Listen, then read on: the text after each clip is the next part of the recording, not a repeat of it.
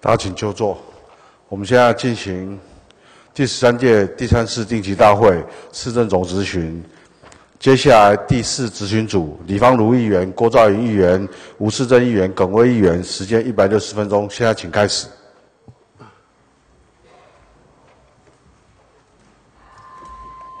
这样好啊，好，那个您有说过，好，在改变台北从文化开始，哦，最好的管理就是不用管理，对的事哦认真做，不对的事不要做，建立一个新的政治文化。对，市长，这个你什么时候说的？我们很讲过很多遍了。讲过很多遍了。这个是您在二零一九年的一月哦十三号哦，我是从那个呃报章上面截录下来的。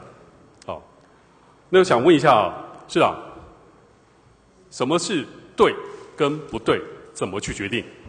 其实哦，九十五 percent 的事情哦，它相当清楚的，就是有绝大多数人认同的对与错啊。当然 有一些是叫 control b o s 啊，就是那种模棱两可的。不过那大大概在五 percent 的以下，所以大部分确定的就去做部分人说同意，哦，认为可以做的你就做，哦，但是有时候会角度不同，哦，甚至于目标方向不同，它一定会有对与错的不不一样，哦，一定会有。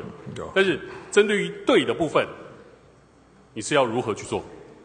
嗯就按部就班呢，反正啊对的事情，反正就反正就是对的事情，就是照着那个方式 do the 做 right do the 其实对的事情，每个人的做法不一样。就像您下达的命令到各局处，哦，他认为不一样的方式，他可以做，因为不同的厨师对于同一道菜，他的做法是不一样，哦，他的做法是不一样，哦，所以他还是会有差异性，他还是会有差异性。是啊，你有没有看过一本叫做《穷呃贫穷的本质》？嗯没有，这本这个贫穷本质是呃，在二零一九年的 诺贝尔经济奖得主哦，他们所写的有三个经济奖得主所写的，他们是得经济奖是因为他们表彰他们舒缓全球贫困研究领域做出来的突破的贡献，哦，做出来突破贡献。好，这主要他们是用科学的方法去验证，哦，怎么去解决他们的贫穷。第一个就是有关于疫苗的部分，哦，这样印度施打疫苗，他用了不同的方式来去做佐证，来去做它的效益分析。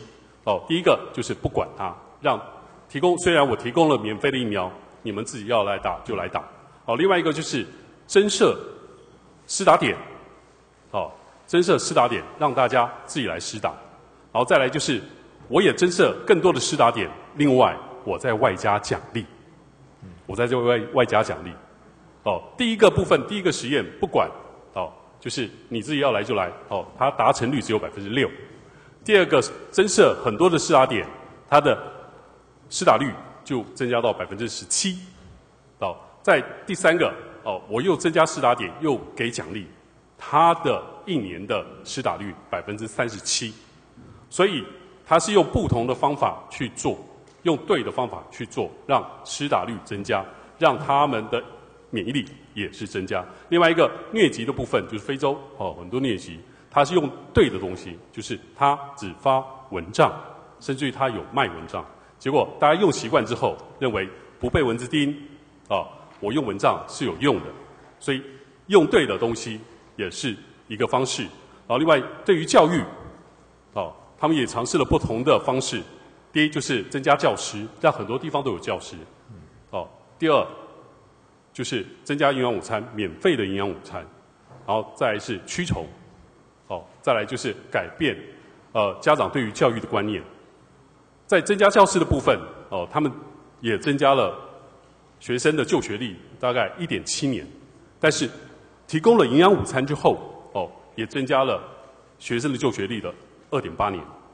除虫，哦，这是因为地区的关系，哦，有除虫，因为他们的那个 呃寄生虫比较多，哦，除虫，哦，也增加了二二十八点六年的那个学习力。但是最重要的就是对于家长观念的导正，哦，甚至用其他方式来去呃引导家长，反而让学生的就学率能够增加四十年。所以，贫穷的本质，它上面有说的，哦，就是用不同的方法去做对的事，哦，用不同的方法去做对的事，哦，其实他们很多人在讨论，是不是哦要给援助，哦，甚至于救助或补助这个问题，其实大部分的人都说一定要哦援助、救助、补助，甚至于要更多，但是有时候成效不彰，最主要成效不彰就是。你要如何去援助、救助、补助？方法对，所花的效益会更大，所节省的时间会更多。所以他们有一个结论，就是贫穷哦，不是一句懒惰可以解释，它是有很多种的原因。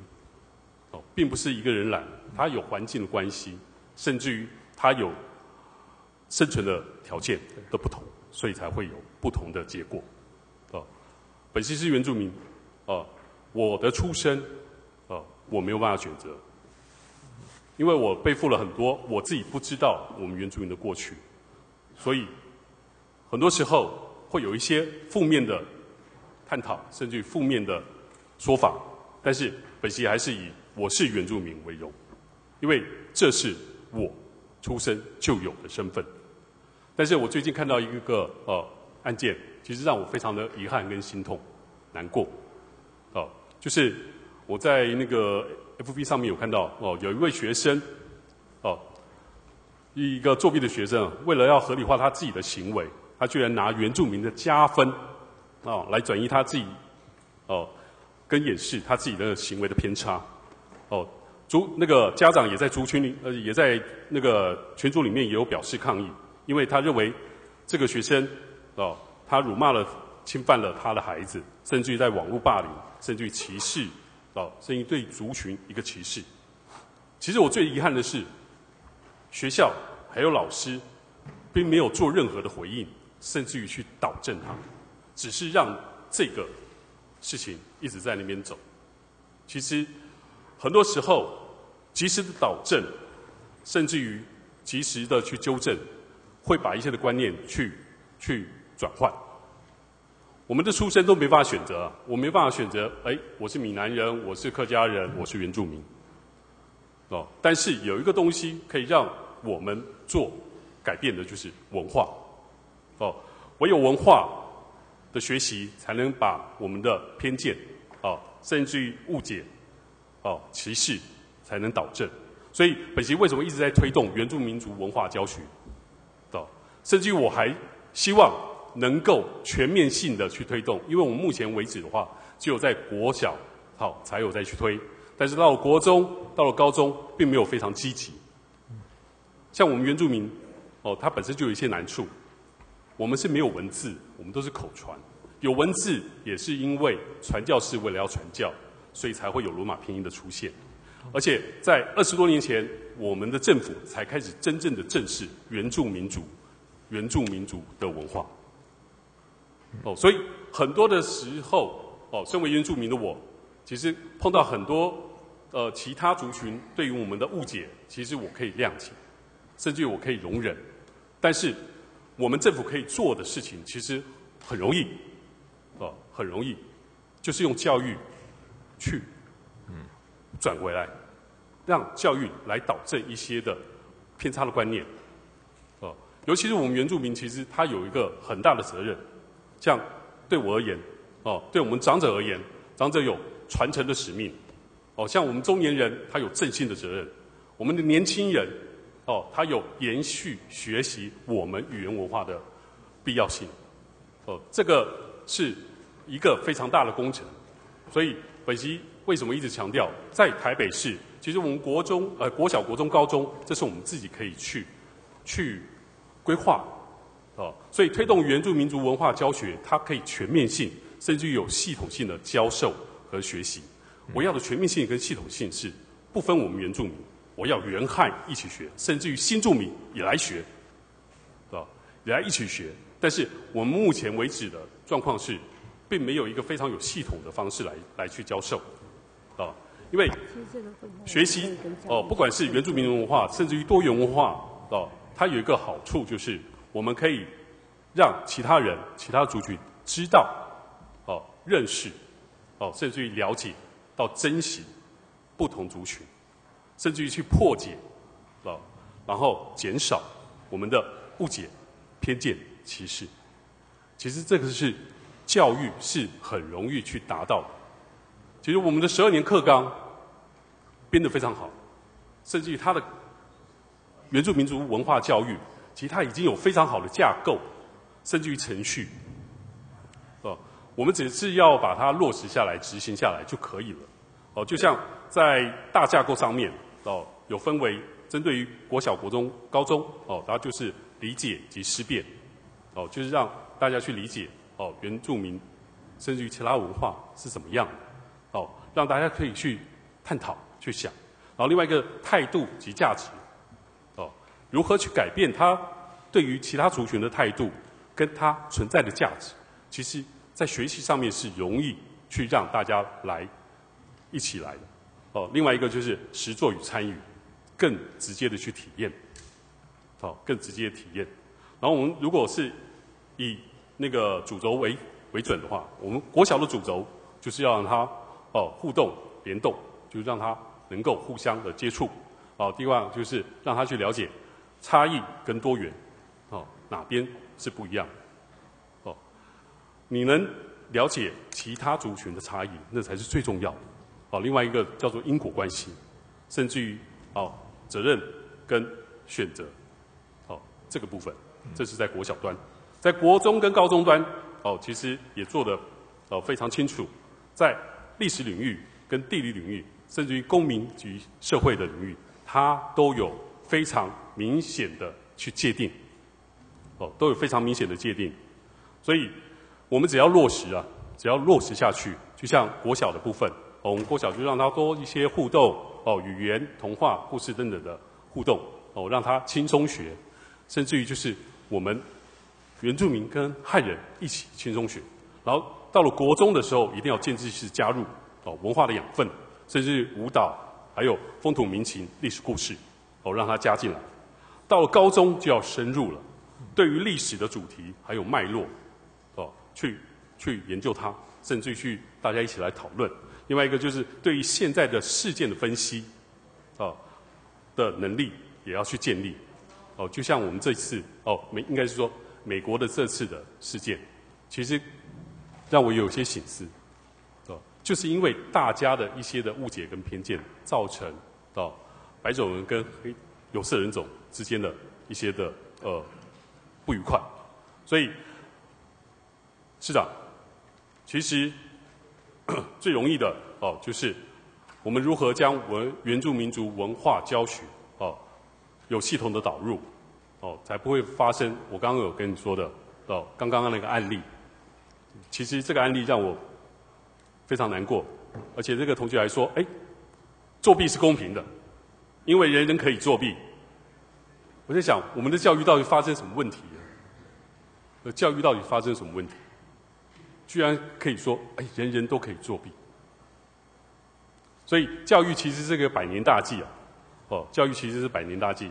所以对原住民族文化教育，啊，我希望局长这局长也在这边，哦，教育局长也在这边，我希望能够在国中端、高中端，是不是可以增加一学期的选修课？哦，让我们的原住民族小朋友跟汉人的小朋友，甚至于其他新住民的小朋友，共同来学习原住民族的文化。因为我们现在大部分都在推动语言，语言是非常重要的，但是语言里面含有文化，哦，根据习惯，像文字的内容，其实它是有脉络的，它必须要结合生活习惯，甚至于各部落的不同的方式，它的发音是不一样的，甚至于解释都是不同的。所以我希望市长哦，您能够重视。所以本席在这边建议，是不是可以开始全面实执行哦十二年国教课纲里面的原住民族文化的教学，甚至于更进阶的，为了要让这个教学顺畅，我们是不是在各级学校至少要聘用一名原住民籍的教师？聘用一名原住民的籍的教师，他的责任在赋予原住民族的文化的传承。嗯，他有他的专业，那个一定要保留，不管他是语文的专业还是地理、历史、物理、化学，哦，但是我们赋予他另外一个责任，哦，就是文化教育的责任。哦，这样子我们保障那一名，那也是合理的。哦，市长，我想您。在二零二四要选总统吗？就突然问这个题目，因为你是要角逐大位的人，原住民这一块，原住民族群这一块，其实比台北市还复杂。我们台北市只要制定好政策方向就好了，但是其他县市它还有土地的问题，那也是不一样的，那个利益更更。更复杂，关系更密切，你要做的部分都会非常不一样。但是在台北市很容易去实践，因为我们只要对的政策做出来的事情，就一定可以达成。所以原住民族文化教学，我希望哦，市长去推动它，好吗？好好，这可这可以的，没问题。国中、高中，好，请加入。我起码就是一个学期，啊，我们总共有六个学期嘛，国中、高中各六个学期，我们用一个学期的时间嘛，就让原住民的呃小朋友，甚至于汉族、哦客家族群，还有新住民都可以一起来，哦，让大家真正去了解，哦，应该是说认识、了解到珍惜原住民族，是啊，在任期内有有。能力做到吗？这个、这个、这个，既然有国教课纲，我们就会做了。嗯，对，有国教课纲，但是必修都在国小。的关心，我我报告一下啊，国小选修人数是比较多了，一千两百多人。那国中一百四十六人，高中只就比较少，十四人。那这个部分我们再来强化，包括从社团课程。那至于说那个要把课程弄出来，大家才会有机会去。而不是哦，大家想做想做，结果都没有客人出来，学校也没排，那没有人参参与啊。好，所以我们要做的就是你要排，哦，让他加入进去，有课程大家才会去参加。你没有课程，你说要靠学生的意愿，其实很难呐。我们的国中的小朋友跟高中的小朋友，光是要考试，他们就没有时间。哦，你说要另外另外拨时间，如果我们把它变成选修的部分。让他这个成绩也算，啊，让他们能够更自发的学习，甚至于让他们能够有机会学习。其实我希望多学习的是我们的非原住民族的学生，那才是重点。啊，我们是一定要学的。像我自己，我都想要学，但是我找不到管道，我找不到管道。虽然我有部落大学，但是我说真的，目前为止。我们对于教育这一块，虽然中央要准备做原住民族学校，甚至原住民族大学，但是我们还是要落实到基层下面，那才是有用的。只有上端做，下面没有做，那是那是很难去达成一个呃民族的复兴，甚至于民族的文化的传承，是吧？好吗？是啊，可以。那我们回去商量看看，看教育局我们看怎么来推动。好。我希望在下一个会期，我我可以看得到哦，有初步的结果，好。吗？下一个会期，好，好，好，时间再请教育局长请回。呃，主委先留着。是啊，智慧城市，啊，我之前有提过嘛啊，智慧城市要从哪里开始做起？叫做智慧市政。好，智慧市政。您之前，我之前有建议，智慧之政可以先从哪里做起？圆明会做起。对，因为圆明会这个单位虽然小，但是他要管的很多啊，社服、教育啊，甚至于经济，他都有，他都有涉及到，所以他要做的其实也蛮多。哦，我想这这边我还要谢谢谢哦，我们资讯局有特别的资源，哦，甚至于设备，哦，让我们的一些的文件能够一化，但是。目前为止看到的只有一化，所谓的一化叫做电子化、对，数位化，只是把文件哦变成数，变成那个数位化哦，让文件能够不再变成纸张，哦，不再用纸张，而是变成呃档案。但是本系所要的是后端哦，应该是说审核的机制，审核机制不会再增加我们承办员的负担，因为现在的做只是把我们的纸张变成电子档，但是我们的承办员还是要把他的资料调出来再看一遍。那看一遍，我还不如从原本的方式来做就好了，反而更方便、更简便。但是我要的一化是简单化，甚至于方便，不止方便到市民，还而且要让我们的承办更方便。所以在系统上面，我们一定要让它建制好，就是在我们系统的建制上面，哦，一定要让它更能够直接去反映，哦，所以直接反映就是让我们的、哦、流程都要先解决好，就不用再付钱。哦，申请流程哦，基本上面一定是申请人的基本资料嘛，然后再把家家庭状况哦输入进去，然后应备的文件都备齐，哦都备齐之后，照理来讲，我们的城市其实很简单，其实都可以粗算，可甚至于还可以到细算，只要在文件齐备的状态下，其实你们就可以做一个合可，还不没有必要还到承办员再审一次，除非他的文件上面有哦缺失，甚至于有问题，才需要再由承办员来复审。所以初审的阶段其实可以交由哦系统来处理，哦由系统来处理之后，有问题的再由哦承办来去做复审，这个才叫做哦一化、升到优化，哦让它更方便、更便捷，这种才是真正的智慧化。市长同意吗？同意。同意。好，那个可能要麻烦 我们咨询局长，我们协助云会，好，把这一块，好，去把它落实起来，让我们的智慧化的市政能够真正的有智慧，而不是现在叫做纸本的。说真的啦，那个纸叫做影印啊，影输到电脑里面，并没有，并没有非常便捷。哦，其实这个非常容易做得到。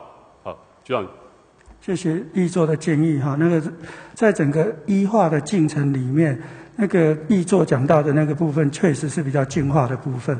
那这部分我们有一个计划，就是把政府资料做一个整合。我们有个整合平台，当所有的资料有办法被先整合以后，才有办法做资格审查或者是一些资料的审查的部分。，我刚刚说的是，是当他申请人的资料齐备的状态下，是哦，而不是需要再去你们跟其他的单位去要。了解，到，基本上面资料齐备，其实就就很简单去审定了、对。并不难了、我我们这部分会来会来跟那个呃这个人民会这边好好的整合，把流程去跟了解一下资料问题程序问题所在在哪做一个整合，好吗？对，哦，我们做到真正的对。智慧。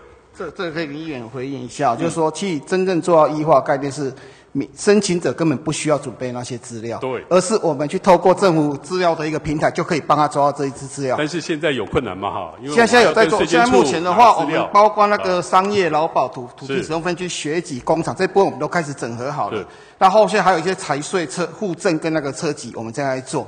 嗯哦，就像这一次的一个万元纾困之乱，事实上像收入跟所谓的存款这一部分，其实应该政府能够主动把它抓到资料，而不是由申请者自己主动来提出。这个是最好的嘛？概念就是这样子来做基本上面是最好的。哎，哦，而且现在叫做资讯流通非常快速的时代，对，其实很多东西都有，都可以借鉴，都可以借。哦，所以请哦你们去加速协助一下圆明会。哦 OK，我在这边也要谢谢市长能够多多支持这一块，让我们的原住民的申请哦能够更简便、更方便。好，谢谢。那个哦，诸位也可以先回座。是啊，呃，你对于陈水扁总统在担任陈水扁呃在台北市长担任市长的时候，你对他的施政什么东西最有感？啊，每个人都说什么是那个 区公所，那个区公所柜台降低，对，区公所柜台降低。啊。另外一个叫扫除八大行业，整顿八大行业的，不要扫除八大行业。那你对马英九啊 总统在担任台北市长的期间，你认为有感的东西是什么？十十二个十二个运动中心，哎，还有嘞，还有悠游卡，又又哦悠游卡哦，悠游卡，哦，这都是跟市民有关的。十二个运动中心哦，便宜的运动场馆，让市民都可以来运动。然后悠游卡让我们更便捷。哦，对于好龙斌市长呢 U bike，U bike，还有嘞，U U bike，其他的，还有一个哎，一九九九市民专线一九九九，哦，这个都是让我们民众有感的。市长，您呢？目前六年下来，还没还没还没做完，还有两年的，还可以再，没有啊？我是说现在呢？大概是公宅跟市场改建吧，这大家比较看得到。公宅市宅改建，但是我只是觉得，你唯一让我有感的，甚至于让市民有感的，是忠孝桥的引道拆除跟中正桥的引道的拆除，那个才是让我们有一个亮点，因为你们用短的时间去处理了一个长时间的一个困难，这个让我非常有感。哦，其实有感的事情可以做很多很多，但是其实市长，你有没有发现你有一个你的专业是什么？医学医学，对，你的专业是医学。其实趁这次的疫情，其实可以做一个哦，建制一个长者的智慧医护系统。哦，长者的智慧医护系统，为什么我要推长者？哦，因为在台北市，哦，我们其实是全国啦，哦，我们老龄化的呃指数越来越高。另外一个哦，我们长者独居跟配偶共居的情况，哦，也是越来越高。这是一百零六年统计，哦，每年都在上升，尤其是配偶同住，六十五岁以上配偶同住，他们的比例高达三成。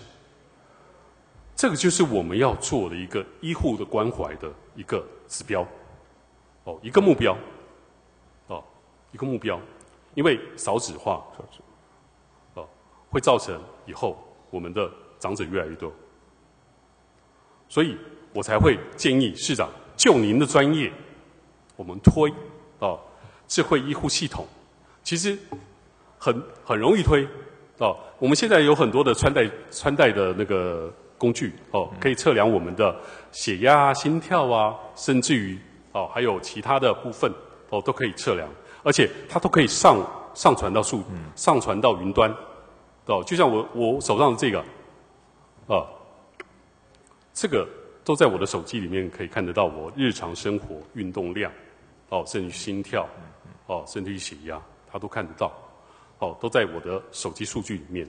其实我们可以把这个东西建制到，让我们的长者都有，大家都有这套系统，甚至于我们在云端里面建制我们自己市呃，应该说台北市政府的 APP 哦，等于说自我自主健康管理的 APP 啊，让这些资料能够到我们健康中心，甚至于到我们的联医哦去做平常的，应该说，当你有一些问题的时候，他们可以及时出现哦，说您需要如何去哦，对于你现在的状况去做一些的调整。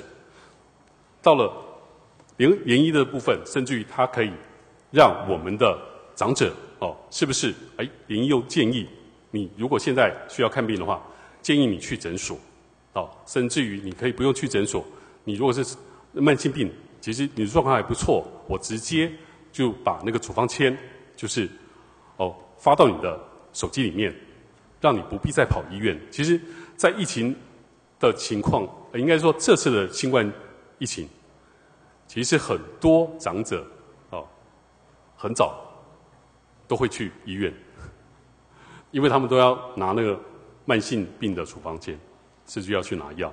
对，其实这些东西都可以去省去、免免除掉，让他们更方便，也不用增加我们联医的一些的困扰。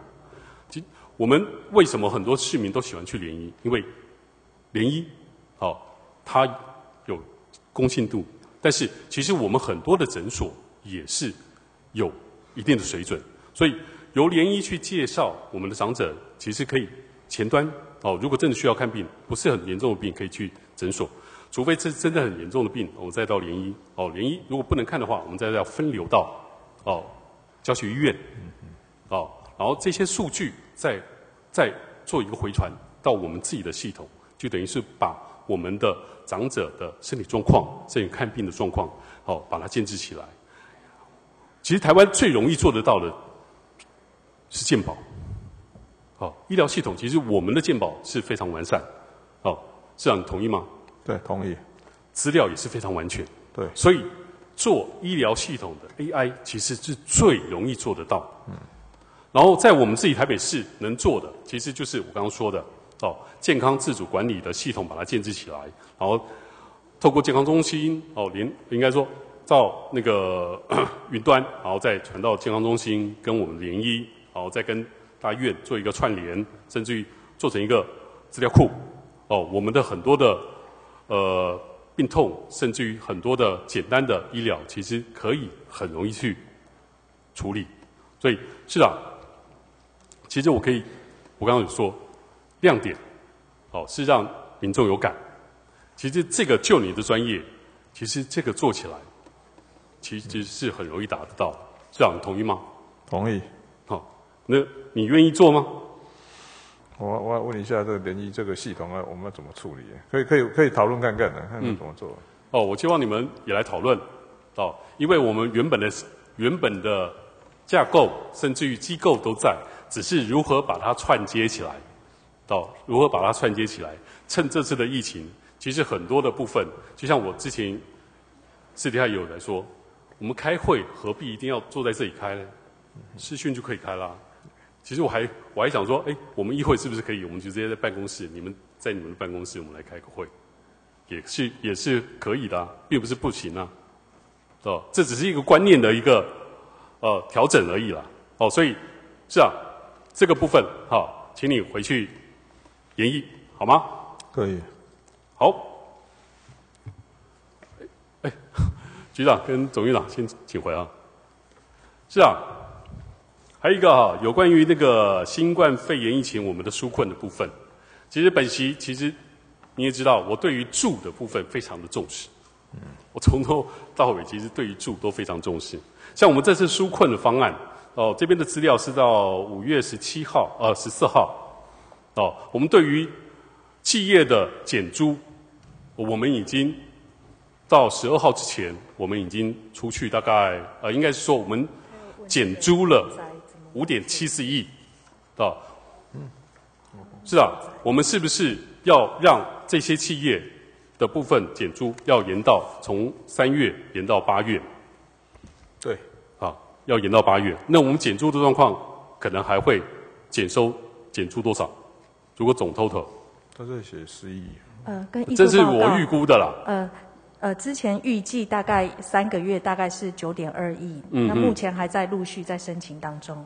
啊，三个月九点二亿，是，再多三个月是多少？呃，就再加八亿，十八点四亿，将近二十亿。所以，对于这个，其实本席非常不平，到为什么我们针对于我们的国宅跟社会住宅，我们不能多减一点？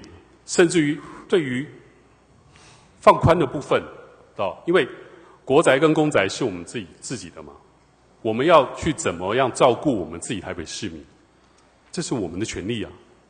其实我们的住国宅跟公宅的市民都非常想说，哎，是不是哦能够减租？因为这次疫疫情其实影响也蛮大的。减租的部分的条件，好，其实都有，但是有些条件真的不合理，哦，真的不合理。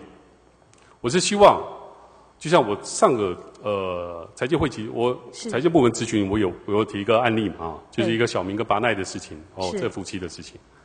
哦，小明他年初哦，因为新冠疫情，所以他没有工作，但是他有申请失业补助。哦，他有申请失业补助，在之前这种还不符合资格，哦，不符合资格就是纾困补补助的资格嘛。但是到之后呢，虽然有扩大，但是并没有扩大叫家户，因为承租社宅，哦是哦他老婆承租的，他们的条件是承租人一定要是纾困人，被纾困人才能够减租，对吧？是就这样。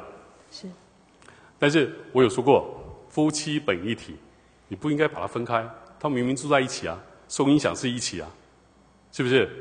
是所以基本上面的话，应该要视同一起纾困，哦，一起纾困。好，另外一个，其实我是希望我们的纾困的方式，国宅跟社会住宅，是不是也可以比照你们在纾困企业一样，百分之五十，百分之五十。我有试算过，哦，下一张，再下一张。我有试算过，哦，如果是国宅的部分加上社宅的部分，其实我们减租，哦，那个半年如果减租一半，哦，二分之一，其实我们只减收了两亿。哦，如果你们执意要减租百分之二十，那好，那也大概八千多万。如果社宅跟国宅的人通通受益的状态下，呃，这样。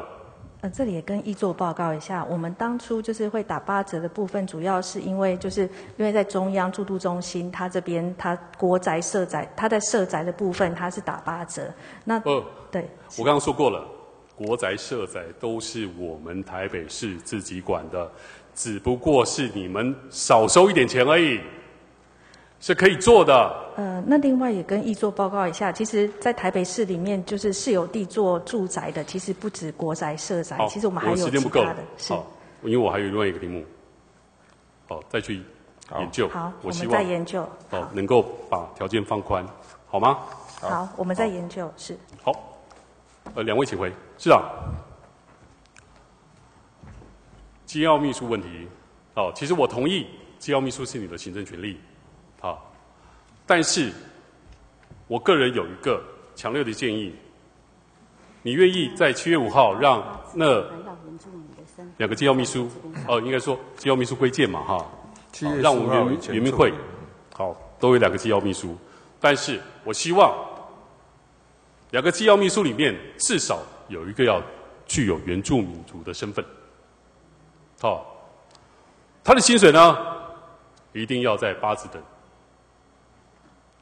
哦，一定要在八字等。另外，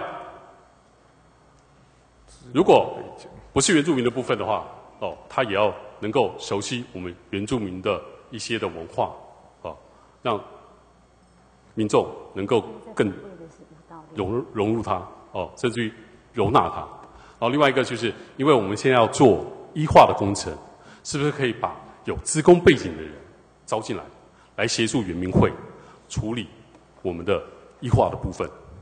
哦，这是我个人的建议。但是我强调，哦，我还是希望机要一定要有一个原住民籍，好吗？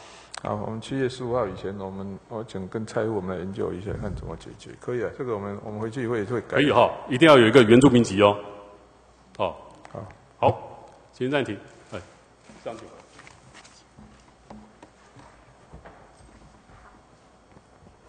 呃，市长啊，这个前呃时间暂停，我们放一下。好，OK，市长，那个钱柜林森大火到现在已经是超过一个月了哦。那五月初市长专案报告的时候，我就提醒你说，这次造成这样的一个火灾的一个原因之一，就是消防跟建管它的一个横向联系有疏漏，所以要针对这个稽查的制度做检讨哦。可是如今一个月过去哦，我发现，在消防局哈跟建管处针对这个联合稽查所公布的资料上面，依旧是多头马车。这个各做各的。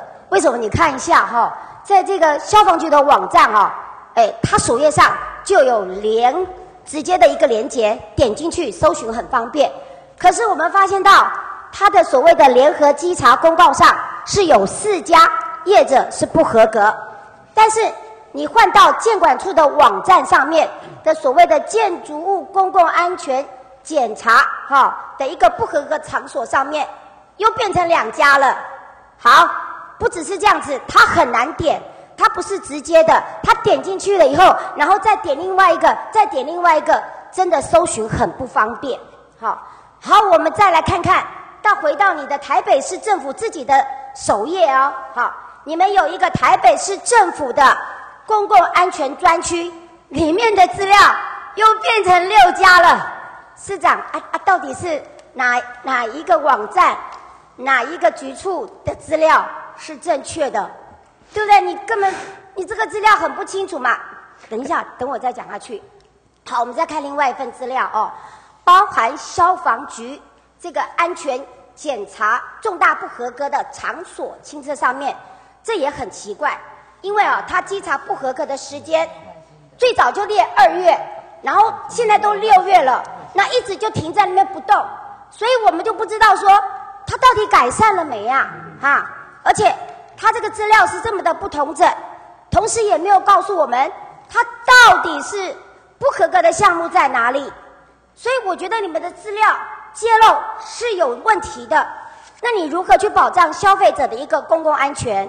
你你是政府，你要如何去监督管理嘛？对不对？所以，请问到底哪一个网站才是正确的？然后那些到底改善没？这个六月了，现在还挂着二月。议员，我们正在做所有联合稽查的制度的检讨，然后现在几个单位，我们从这个上个礼拜开始。你们如果正在检讨，我说一个月过去了，那你这些资料起码应该赶快。我们会先把它做，我们先会我会先把它会诊，因为我们现在才进行第二次的。呃，联合稽查的试办，那这这个里这个月会把它办完。那这些这是之前的资料，我们现在正在做新的网站的整合。我坦白告诉你，新的稽查资料我们会当天、第二天就出来。我们正在你们愿意做很好，也是应该的。但是这个速度真的是太慢了一点。因为说不定在这段时间内，坦白讲，有些人对不对？好，所以尽快把它处理好吧，好不好？好的，好，月月底以前会把它全部。那同时，我也希望你们是不是干脆就在那个网页哈的首页上面就直接连接了，不要点进去，然后再点一个，然后再点一个才查得到。我们以后会只有一个对对外的。好，就把它同整就对了，好不好？好，我希望你能够做改善。好，时间暂停，你们可以回去。另外，这个市长，这个随着疫情趋缓哦，那台北市各场馆从六月一号开始哦，就逐步的解封，包括这个户外的人数从原来的五百哦到这个一千哦，然后室内呢是从原来的一百哦放宽到两百五十，那眼看就是毕业旺季了，毕业典礼哦跟这个毕业旅行都是孩子哦这个求学当中非常珍贵的回忆哦。那家长跟学童都希望能够如期举行毕业典礼，家长也能够参加。那之前因为防疫规定，所以不少学校毕业旅行就取消掉了。然后毕业典礼家长也没有办法参加。那我觉得，既然你疫情都已经趋缓了嘛，对不对？你的室内、室外的活动人数限制都放宽了，所以在毕业典礼的一个人数的一个限制上，其实也可以做一些调整。所以市长是不是由教育局啊去统整？去调查，去协助你，让这个毕业典礼，如果他能够保持社交距离，戴个口罩，然后实名制，然后就可以分批，好，然后分批来举办，然后至少啦，让一个家长能够来参加，这是针对毕业旅行的部分，啊，毕业典礼的部分。那毕业旅行，先听我讲嘛。那在毕业旅行的部分啊，因为有些学校跟厂商解约了，那。这个地方是不是可以赶快再重新演绎啊？是不是可以重新招标、重新规划？哎，市长，是不是可以这样子？因为这是孩子跟家长们的期待嘛，可以吗？对，这中学哦都办完了哈，那小学目前啊办完当然没办法讲啊。对对对，那小学部分汽车学校其实已经办完了，那另外有大概八十个学校现在目前在谈。我所知道的是，你们现在还没有统整完毕。所以呢，我希望你们赶快把相关资料能够同整，然后针对我刚提的，是不是至少能够让一个家长参加嘛？这个没问题啊，一个家长我们都可以哈，对对对，因为你本来说不可以嘛，哈，呃我们有一个防疫指引呢，保持社交距离，然后适度的做一些就可以参加对对对。好，那毕业旅行呢，可不可以重新规划？可以啊，毕业旅行，那如果解约，他可以重新再去谈。那如果时间来得及，他们愿意去办，有的已经改为当天了，好，那不是，所以我现在的意思是说，请你赶快针对这个问题跟相关学校来做一个讨论，好不好有好？那希望就是能够符合学生跟家长的期待啦。是是，我们也有防疫指引，应该没有问题。我们会再来督促学校。好好，谢谢。时间暂停，你回去了，你可以回了。好，另外呢，这个市长，这个二月疫情开始的时候，我就到商圈、跟市集、跟市场里面去了解，就是想要了解说，他们希望市政府能够给他们什么样的帮助哦。那因为疫情影响他们的营收，所以呢，他们就希望说，针对这个私有不动产的这个租金的部分，能够去做一些减免哈、来减少这个疫情的一个经济上的冲击。那么当时我有跟你们相关单位去做反应啊，结果你们呢，呃，就马上跟我说 OK，但是那时候是八折，好，那我就把这个讯息告诉了台北市商圈产业联合会的总会长，也是龙山地下自治街的理事长洪文和，他跟我说不对，你要去跟市政府讲，应该要比照 SARS 期间五折，所以我就赶快在跟你们做这样的一个要求。结果你们也是从善如流，然后你们也体恤老百姓哈、还有这些业者，所以你们针对这个是有不动产租金，好，在这个如果是营业使用的部分是就降到五折了，对不对？好对，然后住宅的部分目前是八折，就是他如果住这个社会住宅或住国民住宅，可是这个对象很可惜的哦，就针对的只能够是这个中央核准纾困的对象。我要跟市长讲哦，这些住在社会住宅或国民住宅的人，他们大概都是低收入户。如果他们真的有能力，他们不会住在这里，对不对？那这次的疫情哦，对他们也有影响哦，因为他们大部分都是自营小摊贩或者是劳工阶级。那这个他们没有办法提出营收短少五成，或者是因为有一些中年的劳工他要养家活口啊，他当然投保薪资他不会定在最低的标准嘛，所以这次的纾困对他们来讲都没有办法领到，所以租金的优惠就很重要。所以市长，既然你把这个营业收入打了五折，你也愿意给这个呃我们做住宅使用的是八折的租金的优惠，那你就好人做到底嘛，对不对？你就也开放嘛，只要他住在社会住宅跟国宅的，我们台北市的市民，那就租金八折啊，不要受限于中央什么纾困核准的对象才可以，好不好？啊，好人做到底吧。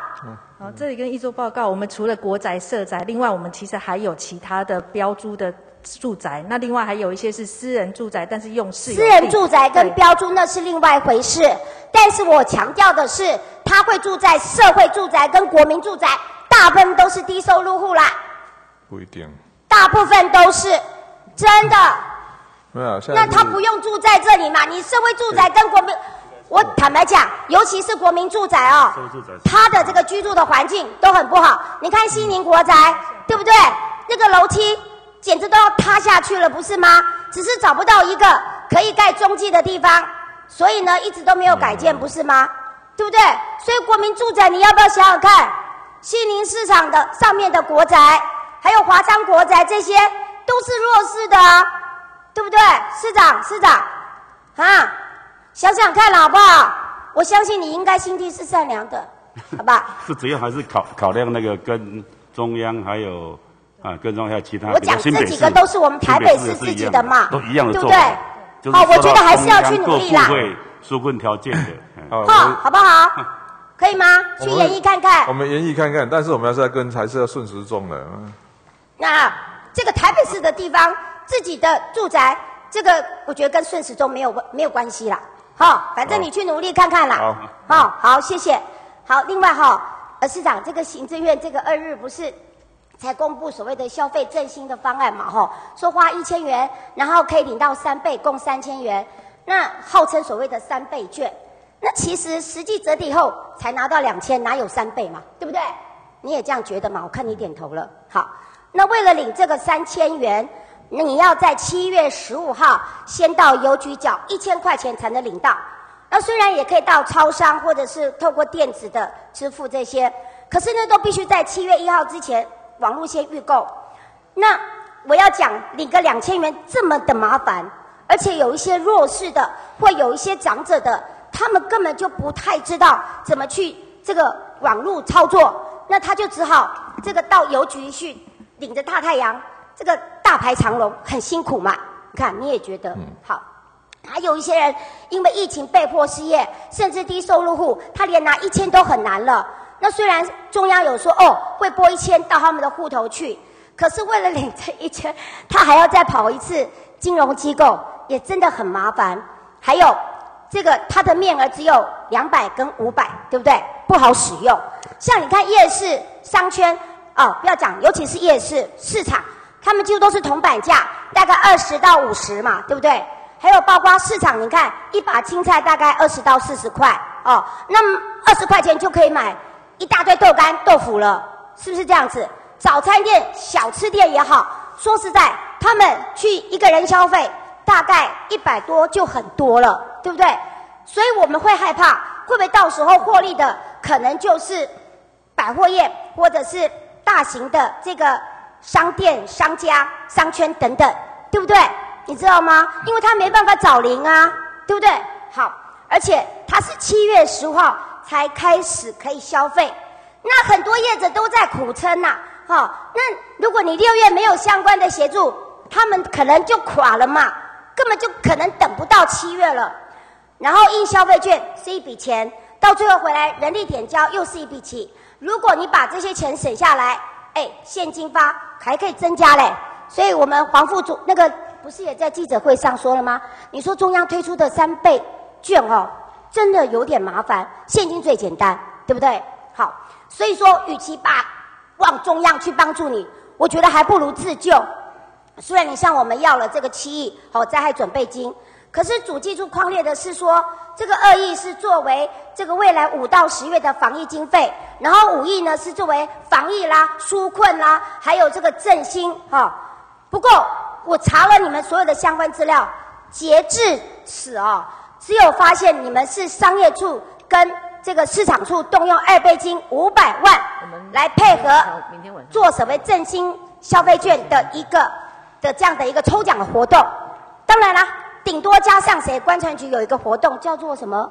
诶，跟台铁合办的北北基好好玩票卡，还有台铁跳票的优惠。可是这个一个是他本来就有的年度预算，那一个是台铁的补贴嘛。所以到底这个五亿你们要怎么用？然后呢？据我所知，你们呢大概是担心说，呃，年底疫情再起，那所以呢，主要这个五亿是可能比较要作为这个可能呃未来的一个防疫的需求。那振兴呢，你们大概交代相关局处说，用年度的预算去支应就好了。可是这样是不对的哈，因为你知道吗？六月你如果还没有振兴的对策来帮助他们。刚刚我讲的北市经济可能就垮掉了，那你在这种疫情已经稳定了，然后百业萧条的时候，我要提醒市长，振兴是比防疫来的重要。这个阶段振兴绝对最重要。所以我觉得，如果年底疫情如果再起，到时候真的要再去追加一些相关预算，你只要每一笔钱都用在刀口上，我们绝对是支持你的。还有市长，你自己当医生嘛，对不对？非常时期，非常政策，非常手段。你如果这个病人已经都送到加护病房了，那那可甚至要打强心针，好，包括呼吸器或者是叶克膜了。那如果你还只给他一般的消炎液，救救得起来吗？所以你当然要加码嘛，你要有一些振兴的作为嘛。而且你看哦，台中他在四月份的时候就有振兴的一些政策了。包括这个高雄也好，也都开始了。桃园连桃园也都有。那台北市呢？首善之都，台北市我必须讲，纾困做的不错，可是振兴真的不够。而且我告诉你哦，中央对你不好，因为你看先前中央纾困不是补助农民有六成的经费，好，结果我不是告诉你了吗？他在那个全家，还有这个家乐福，还有丰康超市贩卖那个康乃馨花，可是它的价钱是花市批发的二分之一啦，所以它的纾困方案反而困到我们台北市的花店业者哎。好，你们再看下一个资料，在中央振兴补助哦，对于商圈的补助上面，你看哦，高雄跟台南它的商圈数不比台北市一定多，可是它的补助经费的比例分别是八十二点三五，还有一个是九十二点八六。反观我们台北市是七十九点四一，耶，比较少哎。而且透过这个资料发现到，中央对我们台北市一些非常需要补助的，反而没有补助到。所以啊，市长，台北市是似乎不受中央垂爱，小英对你很不好，嘿。所以呢，我觉得我们还不如自救吧，是不是？你也认同哈？好，所以我觉得你只要善用这个追加的灾害准备金，来作为振兴对策，我觉得这个是非常必要的哈。那针对刚刚那个中央可能他在纾困当中没有照顾到的商圈或者是产业，我觉得台北市更要帮助他，对不对？好，所以你们什么时候才可以提出哦？针对你们追加的这个五亿啊？有一些比较具体有效的作为，你不能真的。我们今天晚上七点半我们会开一个跨局处的会议，会针对跟振兴券一起来的加码，是不是加码？除了除了加码抽奖，还有各各种可能性，抽奖不算嘛？抽奖你是用二倍嘛？我讲我们今天晚上会，我们今天晚上七点半好，我希望不要只是又加码，因为你跟我们要了这么多钱，对不对？就应该不是所谓的配合的。这个加码而已，而是还有没有办法针对呃不受关爱的一些商圈产业，我们怎么样在这个地方自己来帮助他们，好不好？好，我们会补足。好，谢谢。那另外，这个我要再提醒您哦，我们商业处跟市场处不是动用二倍金五百万来配合这个振兴券所规划的这个一个活动，叫做一百零九年度台北市提振商机整合行销计划。啊，其实就是抽奖活动了，哈。不过我要提醒你，你这个活动时间到底要在哪里？因为这个振兴券是到十二月，那可是如果你到十二月也会有一个问题哦，因为不少专家学者都说，你到十二月你拉长这个期间其实是没有太大的振兴效果的，所以你到底要定在何地何个时间点？我觉得也要去研一下，对不对？是，这个部分我们只在暑假。好。那还有我要讲哦，因为商圈消费的金额哦，多比市场跟夜市高，所以你定那个最低的消费金额也要检讨一下。你你不要都定一样，定一样的话，坦白讲，夜市商圈他们又没有办法收回到了，好不好？好，谢谢。时间暂停，你们可以先回去。好，再来，我们跟这个呃，我们来谈精进计划。市市长，这个传统市场是这个城市的一个缩影哦，它有浓厚的人情味，然后有自己的一个特色。那透过这个市场的一个改建，的确能够让采买空间也好，或者是市容景观都做了一个改造。那同时也增加跟大卖场的一个竞争力了吼，所以你才会这么重视，对不对？好，那像大龙呐、南门、中继这个相继都开幕了。那本来在今年这个三月二十一号开幕的这个。华南中继，因为考量疫情，这个不能够群聚。那坦白说啊，还有这个因为太多问题没有改善，对不对？好，那这个他们进驻以后就跟我澄清。那我多次现刊，你看，就真的有三十九项这么多啦。那幸好呢，这个这么多次下来，我们不断的追踪，你们也改善了很多。那我想，如果没有改善的完，赶快，希望在你七月之前就把它处理好，而且也拜托你，像这样的问题哦。因为如果菜市场的投包工程不要再发生了，是这边预做大概再说明一下啊，这三十九扇的里面，我们大概陆陆续续都改善完成。如果还没改善完成，会像一座所说的，会在七月份陆陆续再改善。对，我希望另外相关的这些对，另外相关这些措施呢，呃，我们在经过了这一次的一个一个一个一个这样的一个呃经验底下呢，包含华南的二期以及雨果的部分呢，我们都会吸取这样的对，所以你一定要你的规划设计要跟摊商充分沟通。是哦，好。那不过市长我要说哦，那南门市场哈，真的算是我争取改善成功的一个市场，当然也是你很支持了哈，所以它是市场改建的一个典范。可是哦，这个环南我也要帮他讲话，因为你看这个中继市场的一个改建的开幕行销预算，你看啊，环南市场摊商是一千多摊哦，是南门的四倍，哈，然后呢是大龙的十二点九倍，可是呢。这个大龙、南门都是六十万，那环南才七十二万，这个补助的比例未免太悬殊了吧？啊，我要提醒你哈，这个南门六十万其实不是很够哦，那是因为南门会长哎他们很厉害，很有募款能力。那环南哦，因为改建的时候就这个问题一大堆，再加上疫情，客源已经很减少了啦。所以如果如果他这个中继的开幕，你没有加强行销。是不行的嘛？委员报告，万不够啦。委员报告，昨天跟他们开过会，他们会在会长说，他们下礼拜一他们讨论完毕之后，他们提出需求，我们再把金额，我希望你们能够协助他们。为什么？我们要先看他们要什么，他们要什么之后，他们可能想要什么，然后你们再帮他们规划，因为毕竟他们可能现在就是这样。等他们礼拜一开完会之后会告诉我们。对，另外市长我也建议你，因为未来还会很多市场改建嘛。好。那其实我觉得哈，你这个针对这样的一个开幕行销费用，应该要设一个基准，好合理的基准，然后呢，再针对市场的一个规模大小去做弹性的调整。我觉得这样才公平合理。你说我说对不对？对。所以啊，包括未来呀，这个你不要到了这个 雨果菜以后跟我讲，哎，这当然那个时候不要跟我讲你又是六十万，好不好？好，好，再来。除了市场改建，当然这个包括公有的零售的一个市场，还是这个夜市摊贩市集，这个怎么样来提升它的营运品质，还有它的采买环境，这个是你们经济计划的一个重要性，对不对？好，我也很支持。所以去年当财委召集人的时候，我预算让你们很快过。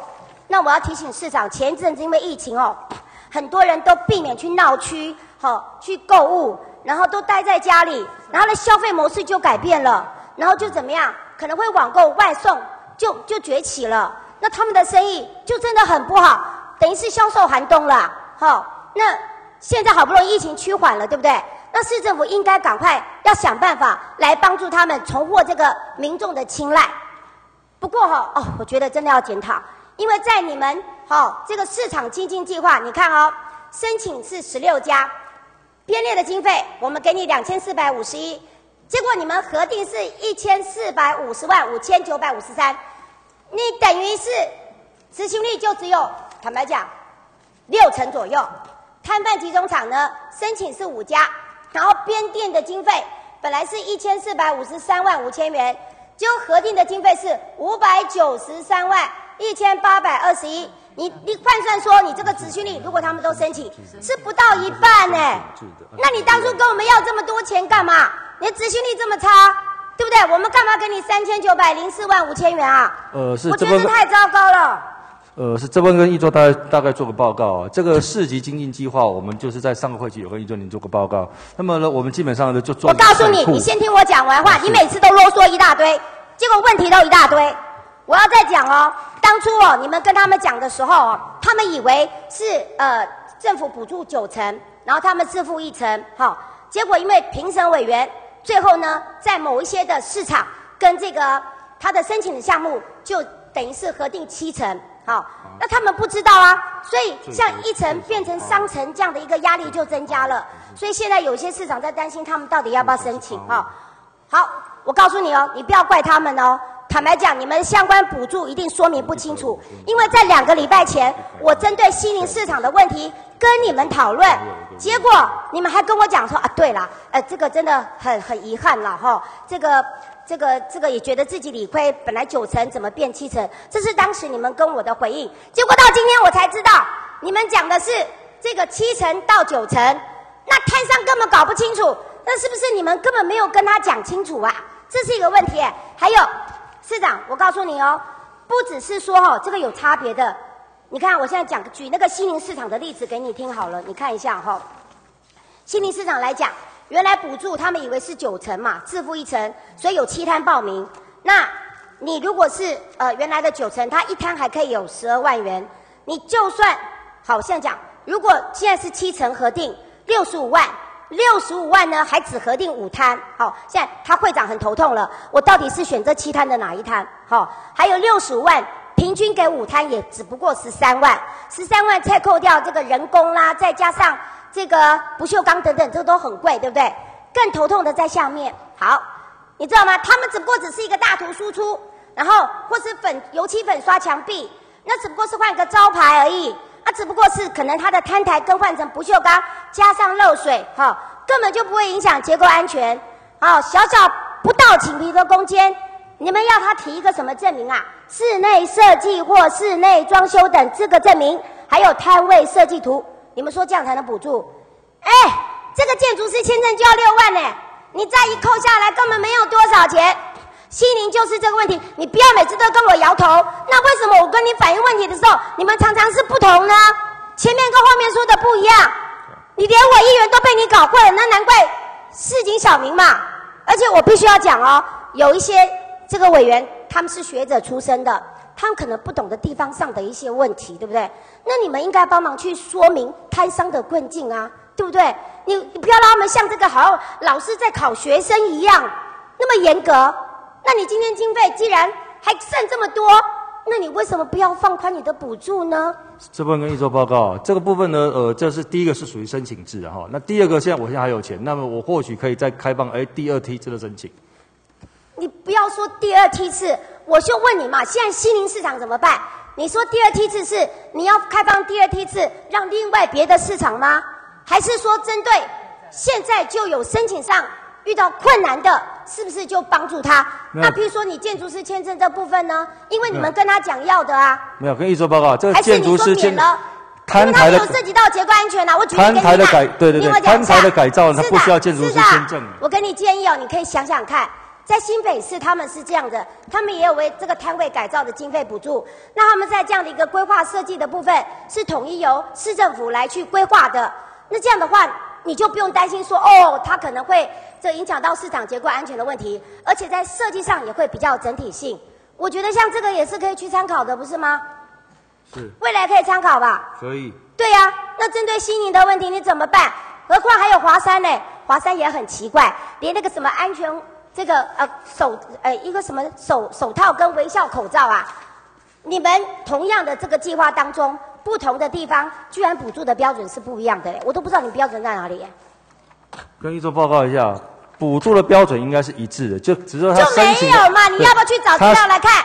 我告诉你，华山跟南门是一个一个算的，一个口罩算的，一个手套这样在算的。可是，在别的地方是写什么样？几层几层？对呀，要么你就都一样嘛，哎，算一个一个算呢。这样这样啊，你你把你的问题列一下，我叫他回去。处理系统，我觉得市长比你有诚意，嘿，好，所以这个地方好不好？针对刚刚讲的那几个问题，赶快回去帮助他们，看怎么样来解决，好。然后我觉得啦，因为说实在啦，你要办这个活动，我们都很支持，因为希望改造嘛。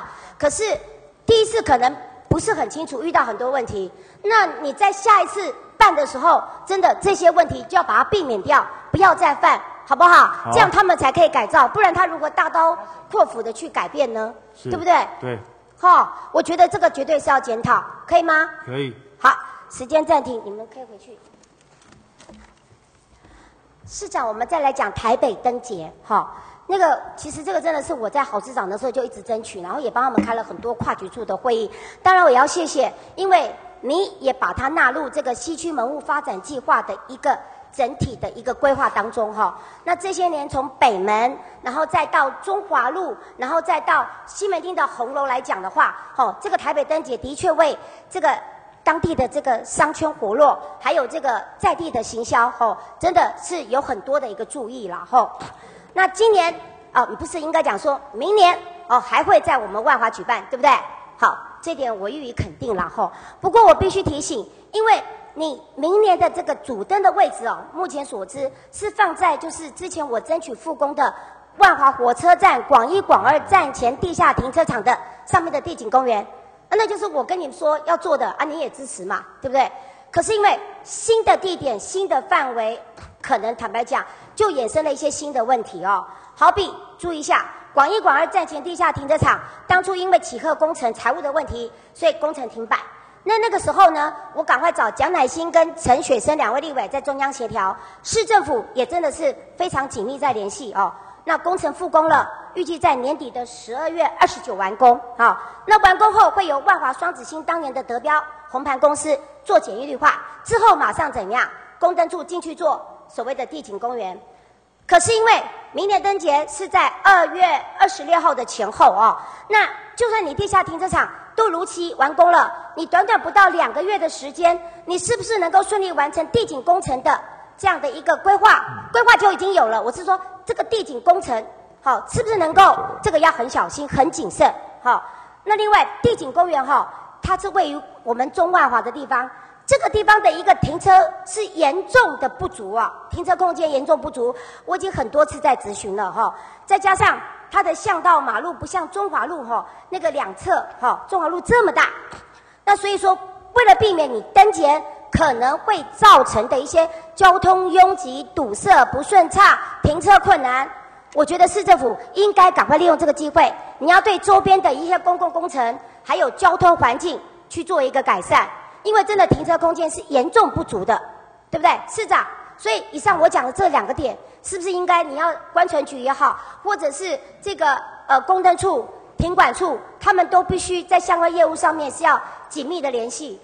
跟议员说明，因为这部分灯节是在二月底，就是议员所刚刚那个时间来进行。在这之前的说，我刚议员提到，不管是停车空间、工程进入状况，那因为我们是组织的主办的单位，我们会来呃跟这个长官、府内长官来做协调，确定他的工程以及相关的需求是完整，能够符合当地需要的，也符合活动期间需要的这个内容，避免造成交通上的一个困扰。对。而且我提醒了，我说因为两个月其实蛮赶的，因为红盘还要去做绿化，他们做完你们才能进去哎。是。嘿，所以这个时间你们真的也要加紧，知道吗？啊，包括议员，我们那个地景十月底会完成。好，地景十月。十月底。你怎么讲十月底？哪有完成？是要等红盘进去做绿化以后，你才可以进去。我现在不是在讲你的规划呢，我在讲你的工程呢。对啊。因为就短短的两个月，你要十月。哪有完成？你地下火车站、呃，地下停车场没做好，你怎么可能盖在上面？它上面那个顶板已经好了，它现在等到红盘进去做铺面，我们同时跟它是。那红盘什么时候进去？跟一做报告，红盘的部分我们追踪，它是在五月要进场，已经进场了。好，五月进场，它已经做绿化了吗？还没没，红盘它是先进去做那个。所以我说你们的时间还是要注意嘛，对不对？追踪，对，因为我也希望在那边举办啊。好，好。那另外，市长我要跟你讲吼，今年本来这个城内五大商圈哦，他们要结合台湾省城隍庙，然后在这个邀集他的合作厂商，然后配合台北灯节去做商圈的行销活动。那可惜因为疫情嘛，你们就缩小规模，他们就作罢了。所以明年他们都有可能继续，甚至西门町这边商圈也会跟进哈。那我要跟你提醒的是吼，因为今年你们有告诉我说明年会在地景公园，可是因为你们这个灯节的规划还没有上网嘛？公告也没有招标，所以现在都还不知道大小的花灯要放在哪里，还有这个路线范围都不知道。好，那我要提醒你，因为新冠肺炎影响北市经济甚巨，所以你市政府应该透过活动的举办，好，我们市政府这种大型活动的举办，好，或者加上一些振兴的政策来去。这样子的话，邓姐才会有扩大这样的一个效益。是，所以我再请教一下哦，你这个部分是不是市长可以赶快就相关的局处？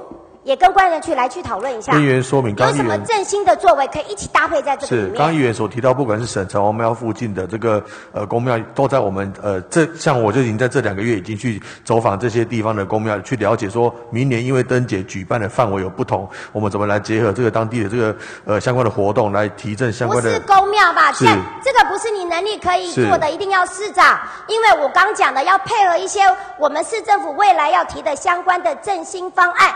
在这里面，这样懂我意思吗？所以我觉得这个地方要有一个人主责啦，看是哪一个副市长来去做这件事情，负责这件事情。嗯。灯节现在是财对财务。呃，跟一说报告，第一个是我们已经列入这个啊万华的无围墙博物馆来做啊整体的这个构想。所以你把第二个台北灯节也纳入围墙是的，是的，博物馆了，是的，都纳入了。对，OK。第二个，我们已经跟啊观团局长，我们都整个本市府相关团队去拜会了，像这个当地的公庙，都在讨论相关这个灯节的事情呢。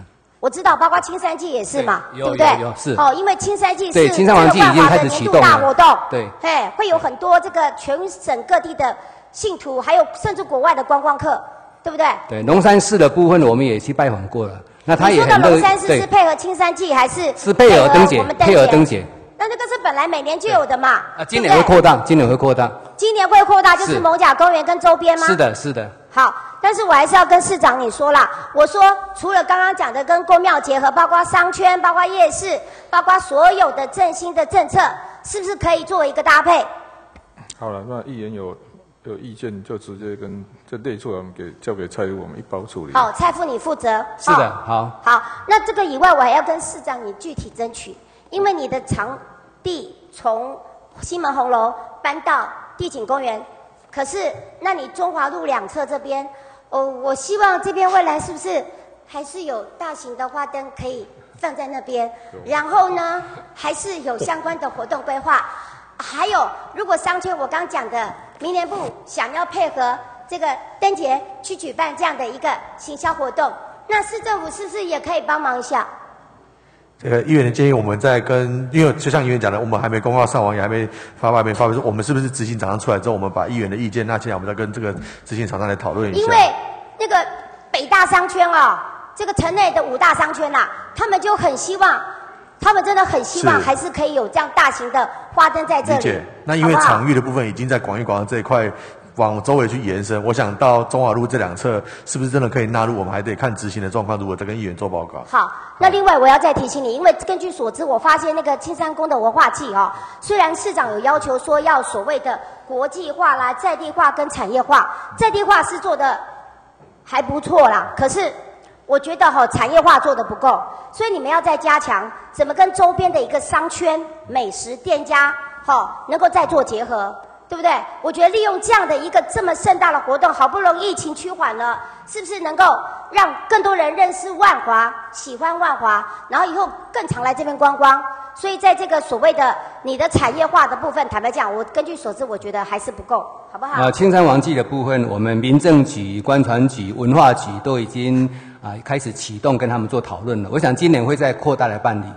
我希望啊，不管是灯节还是这个青山宫的文化季，你们有一些这个比较具体的一个规划，或者是呃调整这个内容，能够这个及时的把它提供给我，因为一个在地议员哦，我在那边土生土长的，我很关心这个，好不好？好的，没有问题。好，另外市长，我要提醒你哦，因为在三月的便当会上面，我有告诉你说，万华有一批年轻人哦，他们返乡创业哈、然后结合周边的这个在地的特色的店家来共同行销，那也推展在地的文化。那去年就是很自发性的办了一个老城咖啡香的活动，你还记得吧？对不对？好，市长，便当会我跟你讲的哈、那便当会，我说老城咖啡香是我们万华在地年轻人返乡创业，然后结合在地文化所做的共同行销活动。好，那今年是办第二届，在八月哈。那他们希望市长好或是副市长，当然最好是你了哈，能够开幕的时候能够莅临指导，因为你到就会有媒体，嘿。好啊所以呢，我想这个部分你不要忘记你的承诺，好不好？好，好，谢谢。时间暂停。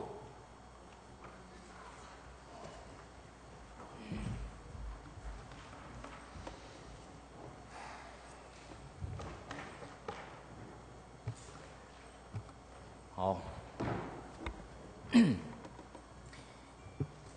来，市长，你好了没？好了，准备好啊，哈、来，来，市长，今天呢、这个刚好碰到本小组咨询啊，这个日子也是很特别的日子啊，哦，就是六四，哦，六四，这个你现在呢也是民众党的主席，哦，那在立法院也有席次，所以是中央级的政党了。哦，那外界对你这个一路以来呢的这个这个这个两岸的态度啊，一直是很难捉摸了。哦，那最有名的两岸一家亲啦，命运共同体啦，都从你嘴巴说出来，然后还扯出什么国安 A B A B 案啊之类的，哈、这个回嘎某飒飒的，哦，那你现在已经是党主席了，哦，因为你是市长，刚好也在这个时候，哦，你是不是表达一下？哦，来来看一下看一下这个最有名的，世界上最有名的一张一个图，六四六四的代表图，哦，来，市长，民众党主席，请。啊，但是在议会应当我只要回答市政的问题啊，这个党的问题应该是立法院。你都已经阻挡了。没有这个，我六四还是一个一个在近代史上一个很重要的日子嘛。不过它是一个，我觉得还是啊，民主自由还是一个人类的普世价值啊。所以我也认为，特别是经济发展跟政经经济的发展跟政治上的这种需要，不可能产产生太大落差。所以终究终究中国还是要朝向民主自由的方向前进的。民主自由方向前进，哦，这是你的立场。那对于六四这个事情呢，这件事情呢，你怎么怎么怎么解释，怎么诠释？它就是一个民主自由在过程当争取民主自由过程当中发生的，是吧？现近近代史的悲剧。好，好，OK，这是你的看法哈。那实事一点的啦，那两岸论坛，你们说持续在沟通，现在沟通到什么什么状况？怎么怎么进行？这这是这样的啊、我们目前我们在秘书处底下有个大陆小组嘛，那目前是杨庆辉哈、这个参议应该算参事还参议嘛，哈 他直接跟对方的上海台办的副主任就一直在密切联系嘛，因为这个，因为他人要过来有困难的，特别是说如果进来要检疫十四天，这简直要这个这个。如果取消检疫呢，开放了以后呢？第一点呢，哈，因为这种东西你不可能。第一点哦，这个一般有，一般我们举办还是要决定日期的，是吧？所以上海方面对对这个，他觉得说人家过来很麻烦的，所以在想说是不是用透过视讯的方式能不能解决？啊，这个透过视讯就要，这个就就一样要抽上嘛，你用哪个软体都 都都变成要双方要沟通很久。嗯，你通讯软体要用哪一个？所以现在的困难只有简易的问题吗？还没有有没有讨论到其他的困难？没有，其他我们还是一样嘛，我们。因为如果你定调是两岸之间城市的交流，那那那也就双方压力就低一点嘛。那我们还是表达说两岸之间还是要交流了。你没有交流，完全没有善意，没有善意就更没有交流。那大家，而且特别是在目前局势这么僵硬的状态下，我说我的态度是这样的，至少维持。而且他已经举办十几年了，你知道？你现在说要停，我说那不是更后退吗？所以至少我们过去的规模什么都维持住了。好，那中央，你刚才有讲到，目前的局势很严谨。中央目前的做法，你觉得有让这个这个双城论坛有增加困难度吗？呃，跟预做报告哈，目前我们啊跟陆委会这边有先有一些啊讨论哈，啊所得到的信息是，他因为这次已经刚刚市长讲过，已经啊例行的工作。所以目前是没有反对的理由，哎，没有反对的意思，是是不是？就看我们台北市要怎么办就怎么办。是的，必须两边做一个讨论，哎。好好，谢谢副市长，请回。好，接下来还是一个政治问题了，哦，因为你就是你就是要阻挡，哦，你第一任的时候就说你不会阻挡，在政见发表会上你就不会阻挡，哦，然后大家也相信了。啊，到了第二任阻挡了，你说哦，那个那个证件是第一任的证件，所以啊，你的你的 promise，你的承诺就是四年一次了，哦，所以第二任就阻挡了，所以还是要问你党的问题了，哦，因为你的是起六，立马是东珠蟹，你若不阻挡，也不会问你这个问题了。来下一张，同样的。这个韩市长，高雄的韩市长哦，也是身为市长，他现在啊也要接受这个民众的考验了，民意的考验了。你也是身为市长，等一下我们会讨论台北市的问题。身为市长，面临这个罢免的投票，那中央执政党都已经讲了，说要鼓励市民去投这个罢免投票。哦，那你同样也身为市长，今天台北市是没有发动罢免你了，你有什么看法？对于市长被罢免这件事情，韩市长被罢免这件事情，还还是一样啦。我觉得这个是 这是议会，你知道，我们应该是回答市政的议题的。不过，不过是这样的，因为很多人问过这个题目，我我是我我事实上我们自己党的内部的的开会，我们都说，哎，这个投票权我们都保持中立的。没有没有特别是，所以说我们最后定调就是说，还是一样我一贯的说法。我说事情都已经走到这个地步了，就交给高雄市民自己去解决的。嗯，那执政党他有他有特别通过，要鼓励大家出来投票。你民政党会做这种事吗？没有，不会。你不会发动党员是投还是不投？是去投还是投反对还是投赞成？对，都没有。你们都没有动作？都没有动作。你有听到动作没有？好，OK，好，好，这个韩市长面临考验了。其实柯市长你也面临着考考验了。好，不管你以后想要做什么，哦，你这这两任啊，说实在让我很不胜唏嘘了。好，不甚唏嘘。这个首善之都啊，在你的领导之下，哇嘞，简这样撸来撸拍孔，哦，撸来撸拍孔。来，我们来看一段影片，大家回回忆一下，哦，回顾一下。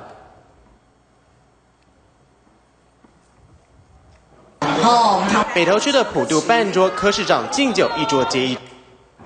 台大医院在评鉴哦，第一名不会是新闻。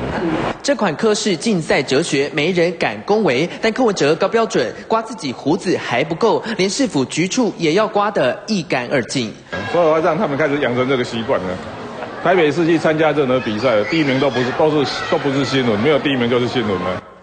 哦，这这个是你当时意气风发当北投区的普渡半桌，柯市长敬酒一桌接一桌，冷落在地明星，还要市府员工跟他一起冲第一。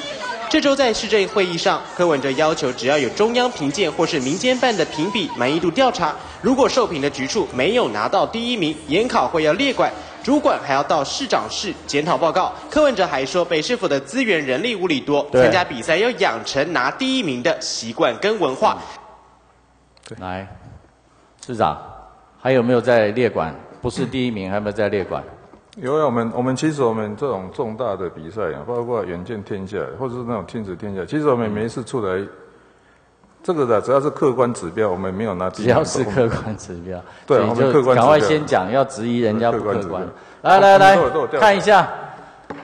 哦，最最那边是最右边，二零一五的时候，你那个时候正意气风发的时候不得了，虽然还是比陈菊赖清德还还低了，也比马英九。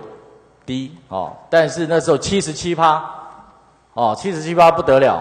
本席在这在这边咨询你的时候，哦，给你的意见哈，你都一概一概不觉得需要采纳哦。对于议会的监督、议会的建议呢，都都嗤之以鼻啊。第二年马上就掉到四十五趴了，第五名了。第三年就掉到四十二趴了，第六名了。二零一八稍微回升一点，也没有好到哪里去，第四名。再来，二零一九又下来了，拢无第一呢。你拄我讲的，讲爱第一，无第一都爱列管，爱检讨，啊，你改讲检讨。现在最新的还是在第五名，人家卢秀燕，你本来去年还赢他。人家疫情好好处理，好好处理，升上去了，五十三趴了，啊，立磊，敬陪末座，市长，你自己检讨是怎么回事？或差不多，其实，在台台北的话，如果做的话，大概五十五到六十就是极限的。大大概大概。啊，你七十七趴是安怎来？那个是例外，那个不，那个不正常。对我们选出一个不正常的市长，七十七那个太高，那不正常。太高，人家还有八十几的嘞。这这个台北市的要求比较高，大概就是五十五到六十是一个比较合理。要求比较高，对啊，你达不到啊。对，会努力，会，都差不多了。我觉得这个还有更低的时候嘛，还有更低的时候还会再还会再上来的，还会再上来。哎，市长要自己检讨了，这这个血血淋淋的事实啦，哦，家己做了不好，家己要检讨，哦，一直讲别人。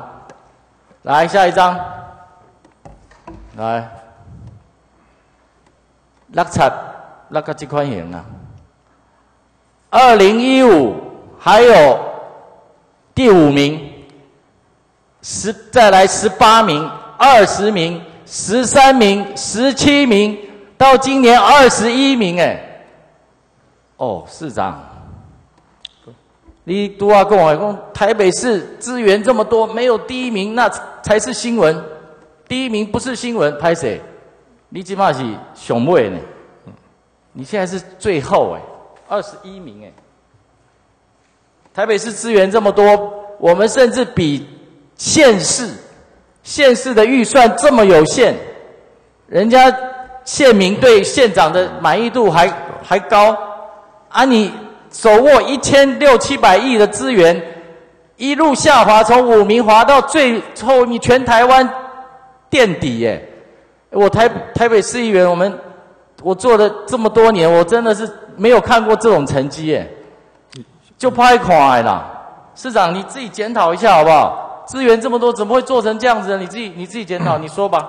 没有，这个还是一样的，这个标准不一样。不过这个这个我们都有在监看呢，这个还要会会在会在会会继续努力的，那也会再回升一点。往往哪个方向？是继续往下还是继续往上？不会不会，这个我觉得是这样的，差不多五十五到六十是一个合理的数字。那我们会会努力是把朝那个目标前进。还有人说自己当选的时候七十七趴是不正常，那不正常，那太高了。太高，人家还有比你高的啊，怎么会不正常？你做得好，人家就民调就高啊。你说的标准不一样，我也不认同了。因为我们施政的对象是市民，是县民，就是就是民众。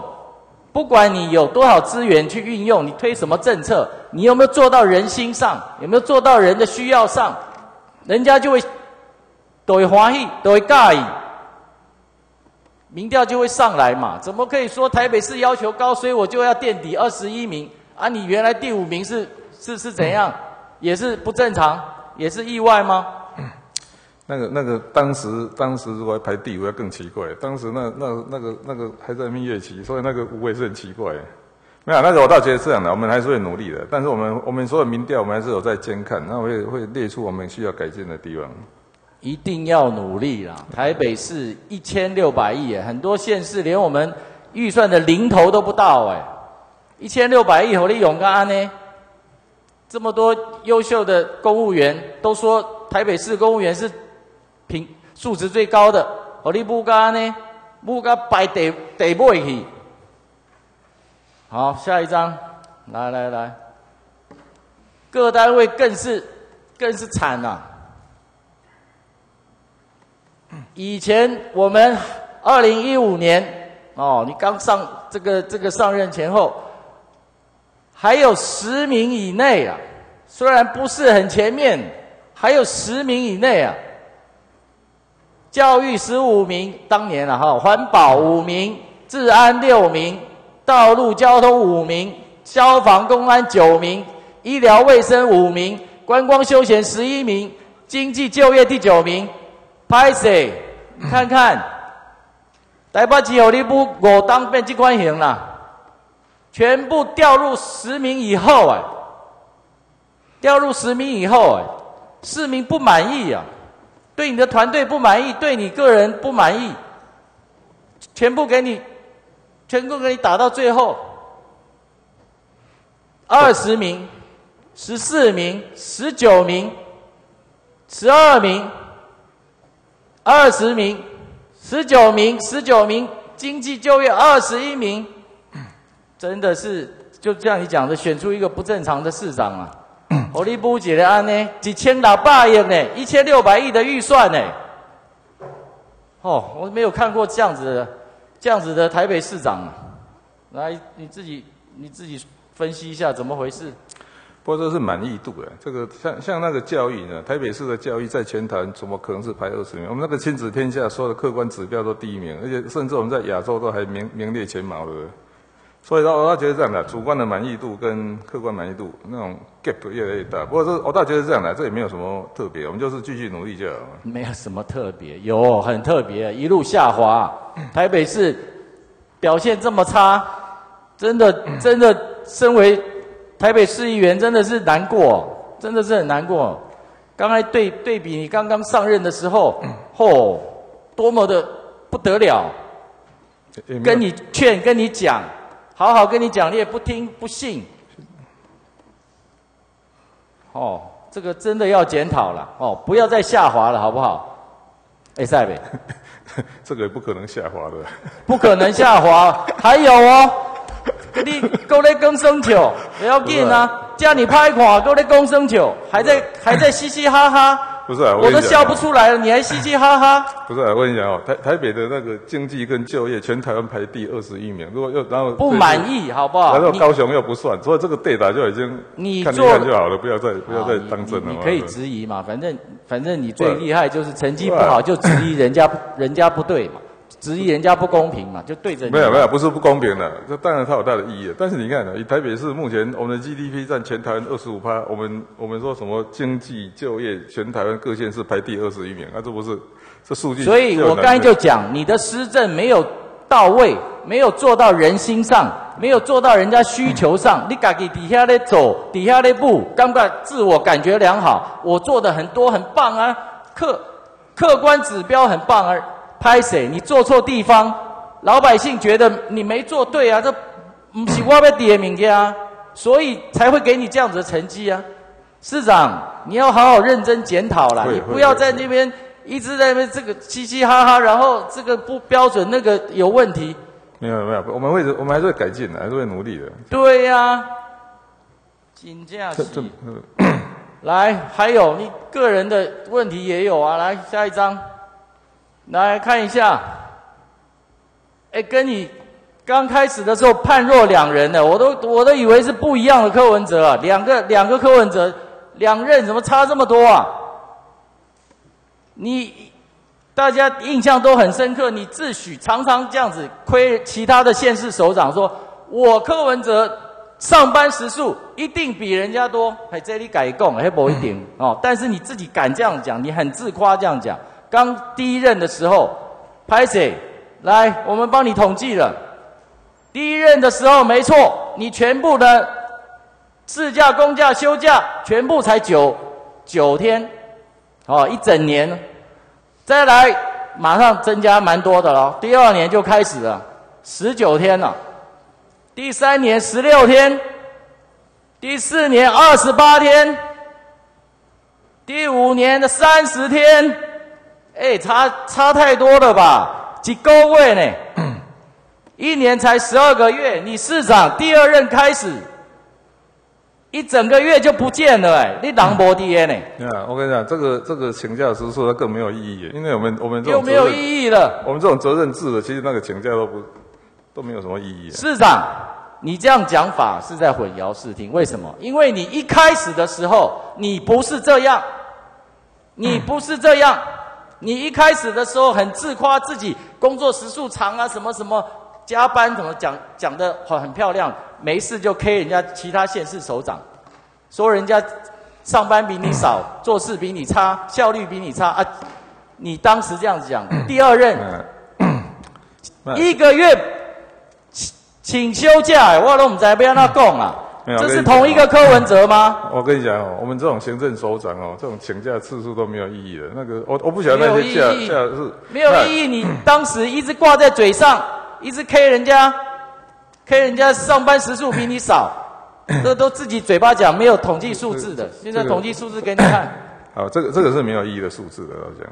没有意义，你请假没有意义哦。那因为我们那个，其实我跟你讲，我们下班时间继续在工作，那个也没有在报加班。你自己在讲，明明请假这么多天，你看今年才计算到五月五月底哦，你已经请假十九天了哎，已经请假十九天了嘞，现在才五月就十九天了，我看要破破三十天了。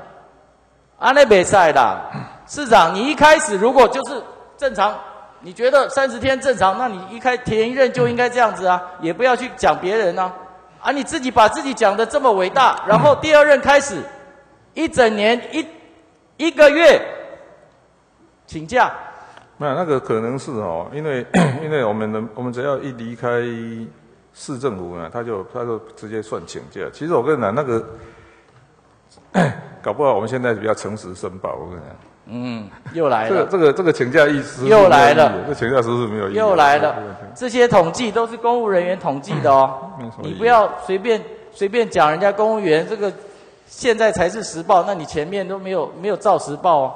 你是讲公务员帮你乱报吗？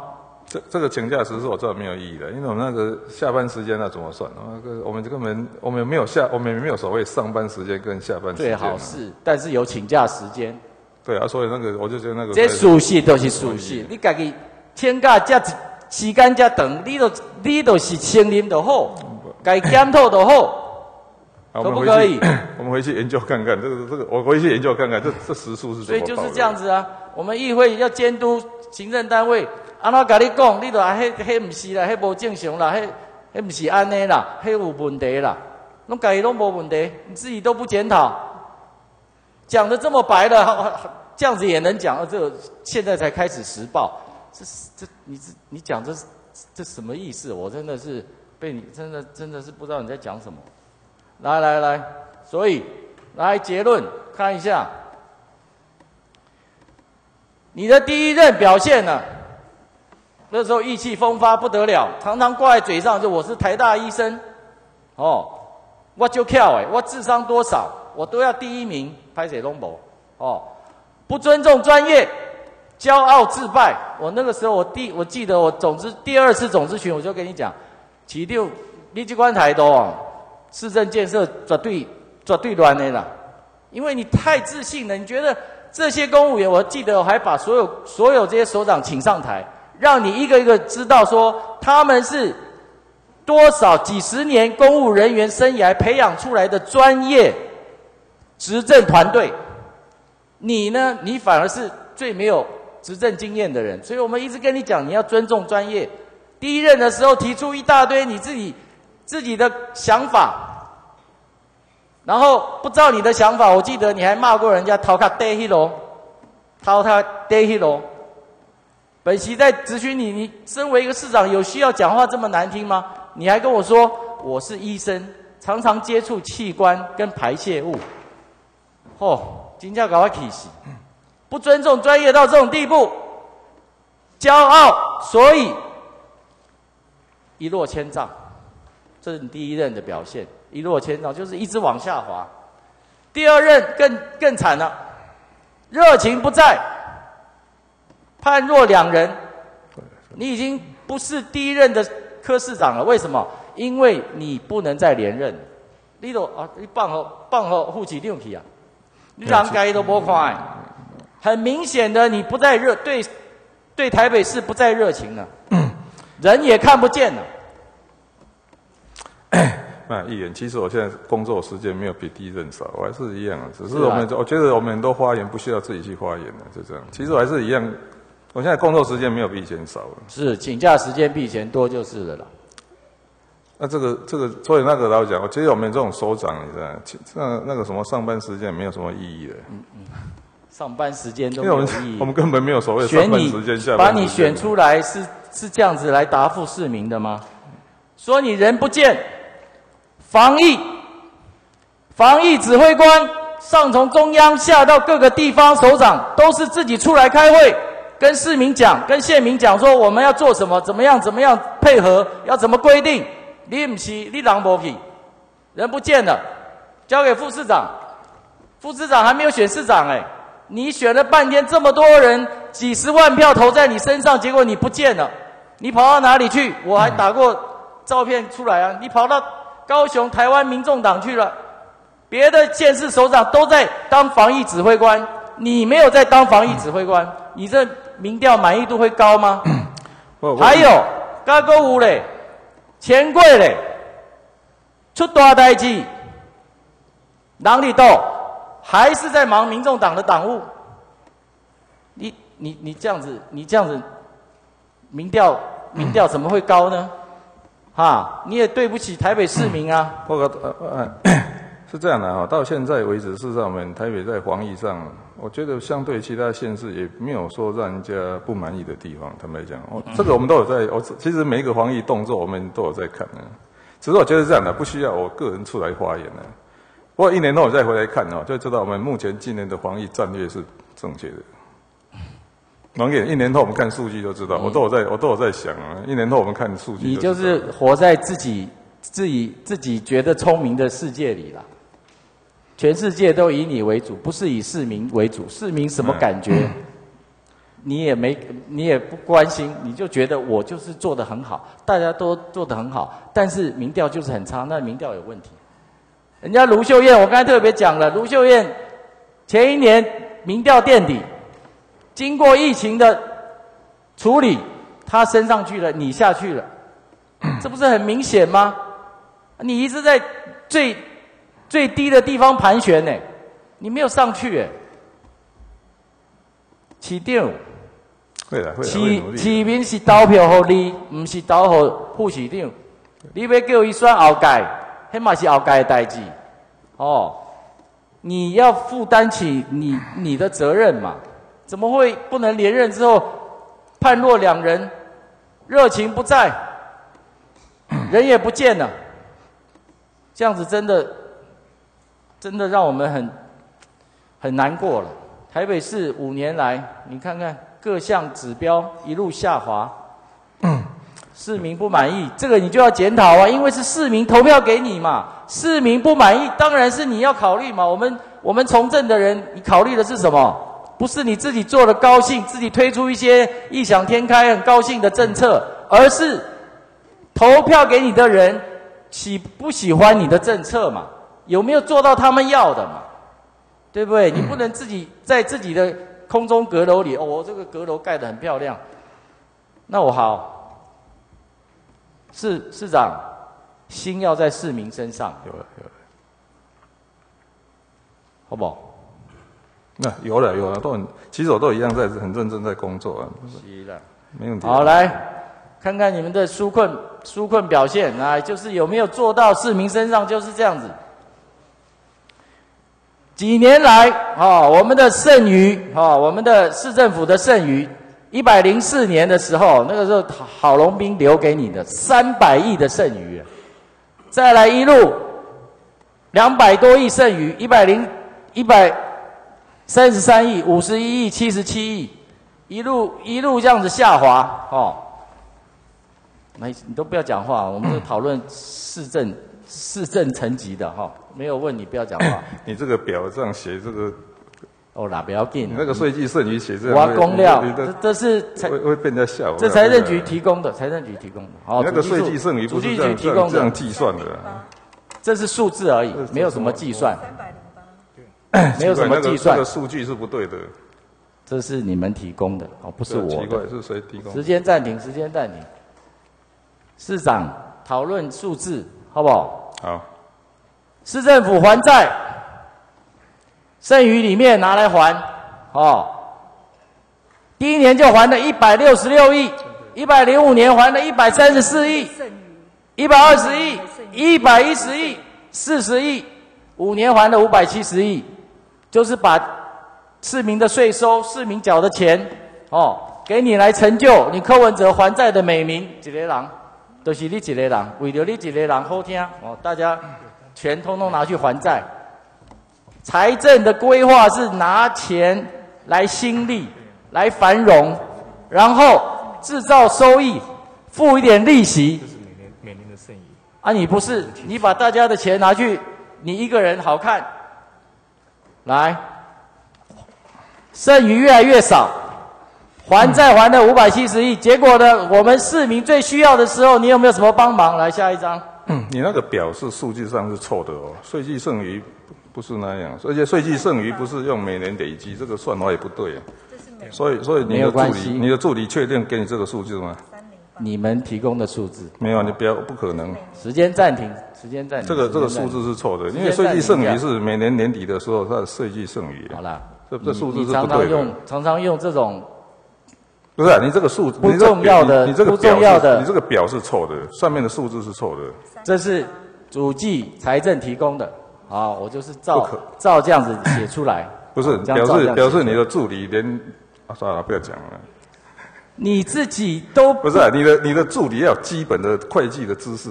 这是当年度的，不是累积生来，主席，主席，主席，嘿，这个是政府提供的，我们就是照写出来。我们一年一年问他，一年一年提出来，啊，都西安呢。哦，市长前面可能不是很高兴，哦，没有必要去找这种，因为这绝对不是我们办公室自己助理写出来啊，多少三百亿、两百亿，不可能嘛，这是我们所知提供出来的，哦。今天要进行质询是来讨论问题，啊，你们提供的数字，然后在这边耽误时间，这不是咨询，不是按内容哎，好不好？来，主席麻烦维持一下这个这好个咨询秩序。局长，你们提供的资料正确吗？呃，跟呃跟一座这里报告，您提到的应该是当年度的税基剩余。那呃，刚刚市长讲的是我们讲的是累计的，累计的税基剩余在一百零八年底是三百零八亿。有没有当年的税基剩呃，余？有没有？这个当年度的税基剩余是是有的这边提供，应该是税入减税出。对当年度的税基剩余就是当年度的税入对减到当年度的税出。那以一百零八年度来看，当年度的税金是有七十七亿，对，是当年度的部分，就是当年度。对对，这是你们提供的资料。对，然后累计累计起来有三百零八亿，刚刚财政局长讲的有三百零八亿的累计。对，好，好，谢谢，谢谢说明，请两位请回。哦，两位请回。好，来下一张。好，本席一直说你们的纾困是患寡又患不均，哦，给的太少，还债还一大堆，还债还一大堆，市民有需要的时候没有拿出来。我一直跟你们讲，你们的补助呢都是补助到稍微稍微有资资源资产的市民。产发局你要融资贷款，你是不是要是不是要有公司？是不是要营业？官船局你要补助检疫，那是检补助检疫。社会局急难救助零点一五亿，零点一五。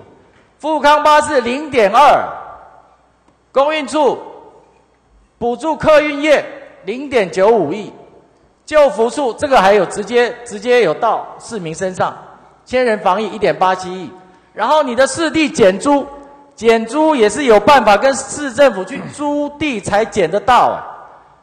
承租户的水费减免，那也是承租户啊，也是有办法去租到你们的地、那房税、娱乐税降税，那更不要说了，都是要去消费的。真正有需要的升斗小小市民没有被你帮助到，哦，还债还五百亿，纾困十四亿，就算加上那个灾害准备金四亿加上去也才十八亿，哦，作为一个民意代表，真的看得很不忍心呐、现在市民有这个需要。啊，你还债成就你的美名这么大方，啊，纾困这么小气，来下一张，来，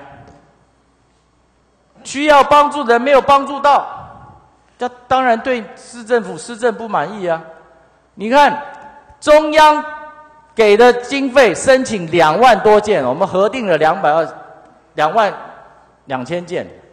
所以表示说有需要的人有两万四，哦，这也是中央给的啊，这也是中央给的、市民的急难救助，这也是原来就有的，我们台北市原来就有的，也没有另外增加纾困。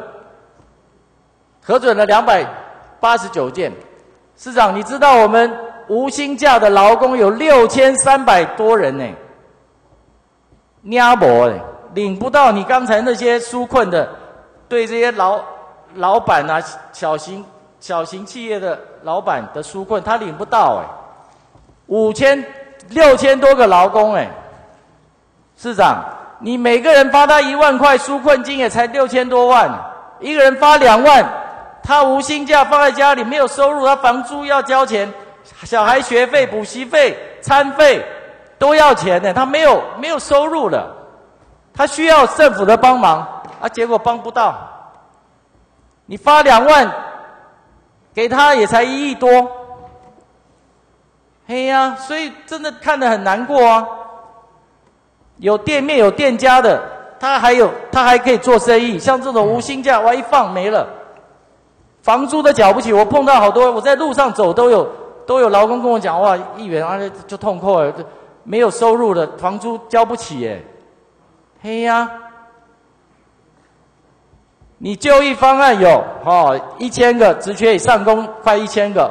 第二个方案呢，有试出一百一千五百个上工还不到五百个，还差一千个。市长啊，加把劲啊！需要的人这么多，我们市政府给到的这么少，啊，你去补一咯，有店面呢，做生意耶，开公司耶，啊，这些人才真正。投诉无门啊，找不到地方帮忙啊，差距太大了。你照顾没有没有到这些需要的小市民身上。市长，你有没有办法再再加强一下？这个一般来讲哦，我们那时候是说防疫纾困嘛，哈，振兴，防疫大概做的不错的哈。那纾困，我们当然是减少企业的现金支出。现在现在关于这个纾困那个什么那个别的补助的话哈，因为目前我们还是有失业劳工啊，整个社会社会救助系统都在了，所以如果他们有需要，还是可以寻目前的社会救助。就是目前呢，不，但是人家现在现在因为疫情的影响，无薪假失业，你要特别帮助这些人嘛？你本来就有的，本来就有啊，他现在更惨了，就要纾困下去嘛。不要什么都等中央，中央，我们还债有这么多钱，剩余有这么多钱，那你不不拿来帮助市民，你现你这怎么说得过去呢？哦，来来看一下，看一下人家澳门，澳门每每个人可以发市民可以发三万块，哦，他们人当然比较少了，非永久住民发两万多块台币。他们就讲了，政府现有五千七百多亿财政储备，哇，真的很多。回归二十年来所累积的是市民的血汗钱，因为有充足的储备，才能在疫情期间推出多项支援措施。我刚才讲，他每个人发那只是一部分，还有别的纾困方案。所以我就以我们民意代表来讲。啊，钱是要拿来活用，拿来创造市面的繁荣。那最糟的时候，市民有需要的时候，把这个钱给市民拿去用，因为你们交了税，你们花了，你们交了规费，你们的钱我用不掉，我现在赶快帮你帮你个忙。市长，你看到这句话，你有什么？你有什么？你有什么感触？其实不管澳门或新加坡，其实他们过去财政是国家财政是正的，就是说他们有累积剩余。但是我倒讲，我们现在整个台湾是负的，所以这个这个是跟不太一样。因为澳门澳门跟新加坡他们的财政他们是有剩余的，所以他们的累积相当多钱，所以这个时候要减一点。但目前整个台湾还是台北市，你不要讲到台湾，台台北市还负债八百九十八亿啊。不过这样的，那个该做的我们还是会做的，所以我就觉得这样，原有的社会福利系统哦，社会急难救助系统要保持啊，所以有任何人被伤到什么，有有有他有被损伤的时候，就寻目有的目目目前的社会救助系统啊，当然钱不够，这个我们都会给的，都会都会都会都会在。我的意思就是，你现有当然就是不够嘛，疫情就是额外进来的，你看无薪假六千多个，去年。无薪假才才两家公司哎，现在六千多个劳工在那边找不到，找不到钱，痛苦的要命啊！结果都要你补，要你帮忙就没有啊。现有你们去申请，有啊。刚才现有的申请多少？两百多个，中央两万多个人去去跟中央申请钱，我们台北市就不能多做一点吗？不能，对啊。就是还是还是可以的，我我倒觉得我倒觉得这样的，因为我们在等像像那个最近那个那个振兴券，你知道，我我们在思考说，在趁着这个振兴券是可以晃啊，但对可以放一些，但是但是 不过这样的哦，政策还是要想一下，因为因为要怎么做会有最大的倍数效果，也不能乱乱花。想能不能快一点？这老百姓已经 会会，因为昨天快饿死了，跳楼了。因为昨天才宣布，你知道哈，然后到七月十五号要上线嘛，所以我们老实讲，有时候有时候中央一个政策下来，我们要做对应的政策，不然后在要一个月内等完成中。央，台北不太容易市首善之都，资源这么多，也有累计剩余，你多做一点嘛。会会会，不过台北市是没有累计剩余来来来，你多做一点嘛。市长记不记得我？来下一张。我第一次问你的时候，就说很多市民跟我讲汽车格、机车格，画了一大堆，到处画，然后收费。现在是最困难的时候，很很开汽车的不见得一定有钱，他有业务上需要，他工作需要。骑机车的更不要，更别说了。那个会期一开始我就问你，你说啊，我们整体考虑，考虑了这么久，疫情都快过去了，到底怎么样？啊，你刚才中央这一这个这个三倍三倍卷，人家说三三杯小卷，这案子推的哩哩啦啦乱七八糟，你什么都等中央，你台北市不能多做一点吗？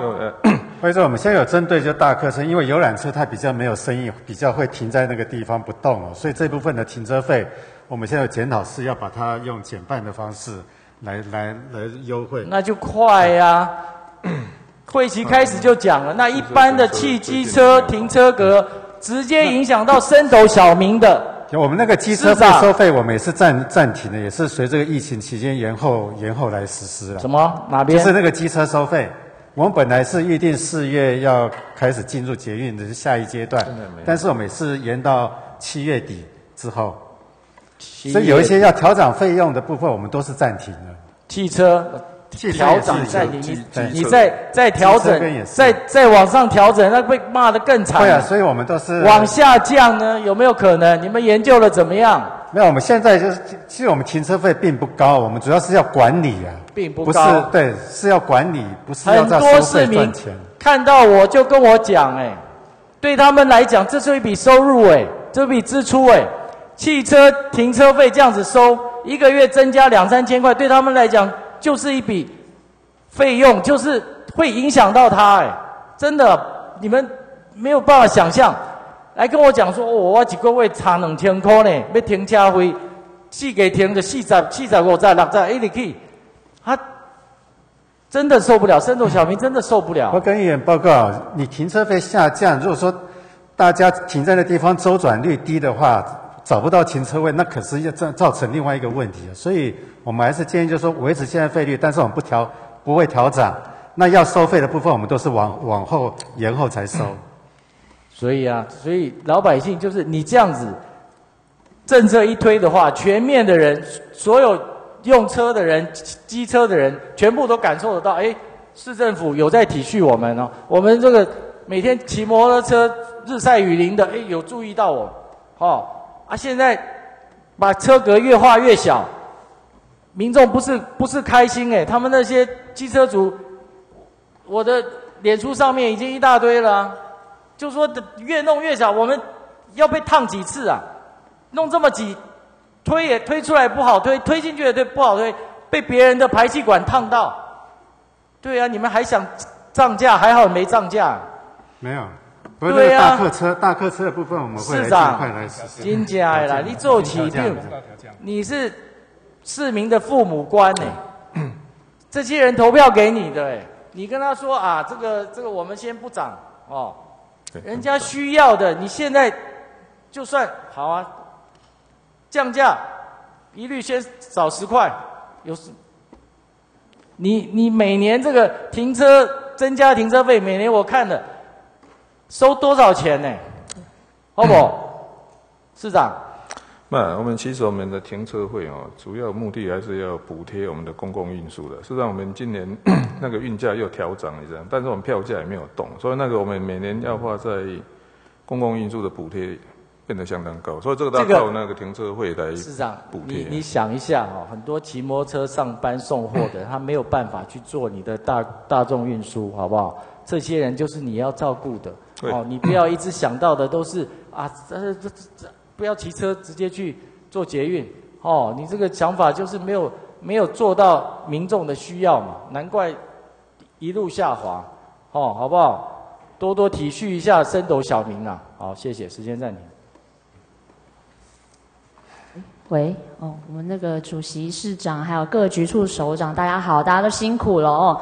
那首先我要针对呢疫情来做一些询问啊，市长，因为我们都知道中央今天就有讲说，我们六月七号就要进行疫情的各种措施的松绑，不管是在观光上面呢、邮局、学校，然后特别在交通的部分哦，交通局呢他们的交通部管辖的双铁。客运、大众运输，他们说进入车站的时候都还是要量体温，然后呢，进到了那个车站里面之后呢，你还是要维持固定的社交距离。然后，如果你没有社交距离的话，你还是要戴口罩。那这方面呢，其实中央也有说啦，这边呢，他们只负责管双铁哦，还有客运这个部分。那我想请问一下，关于就于我们的捷运还有我们的公车这两个部分呢，请问一下，现在我们针对中央已经进行松绑的情况，我们的应应措施还有的规则是怎么样？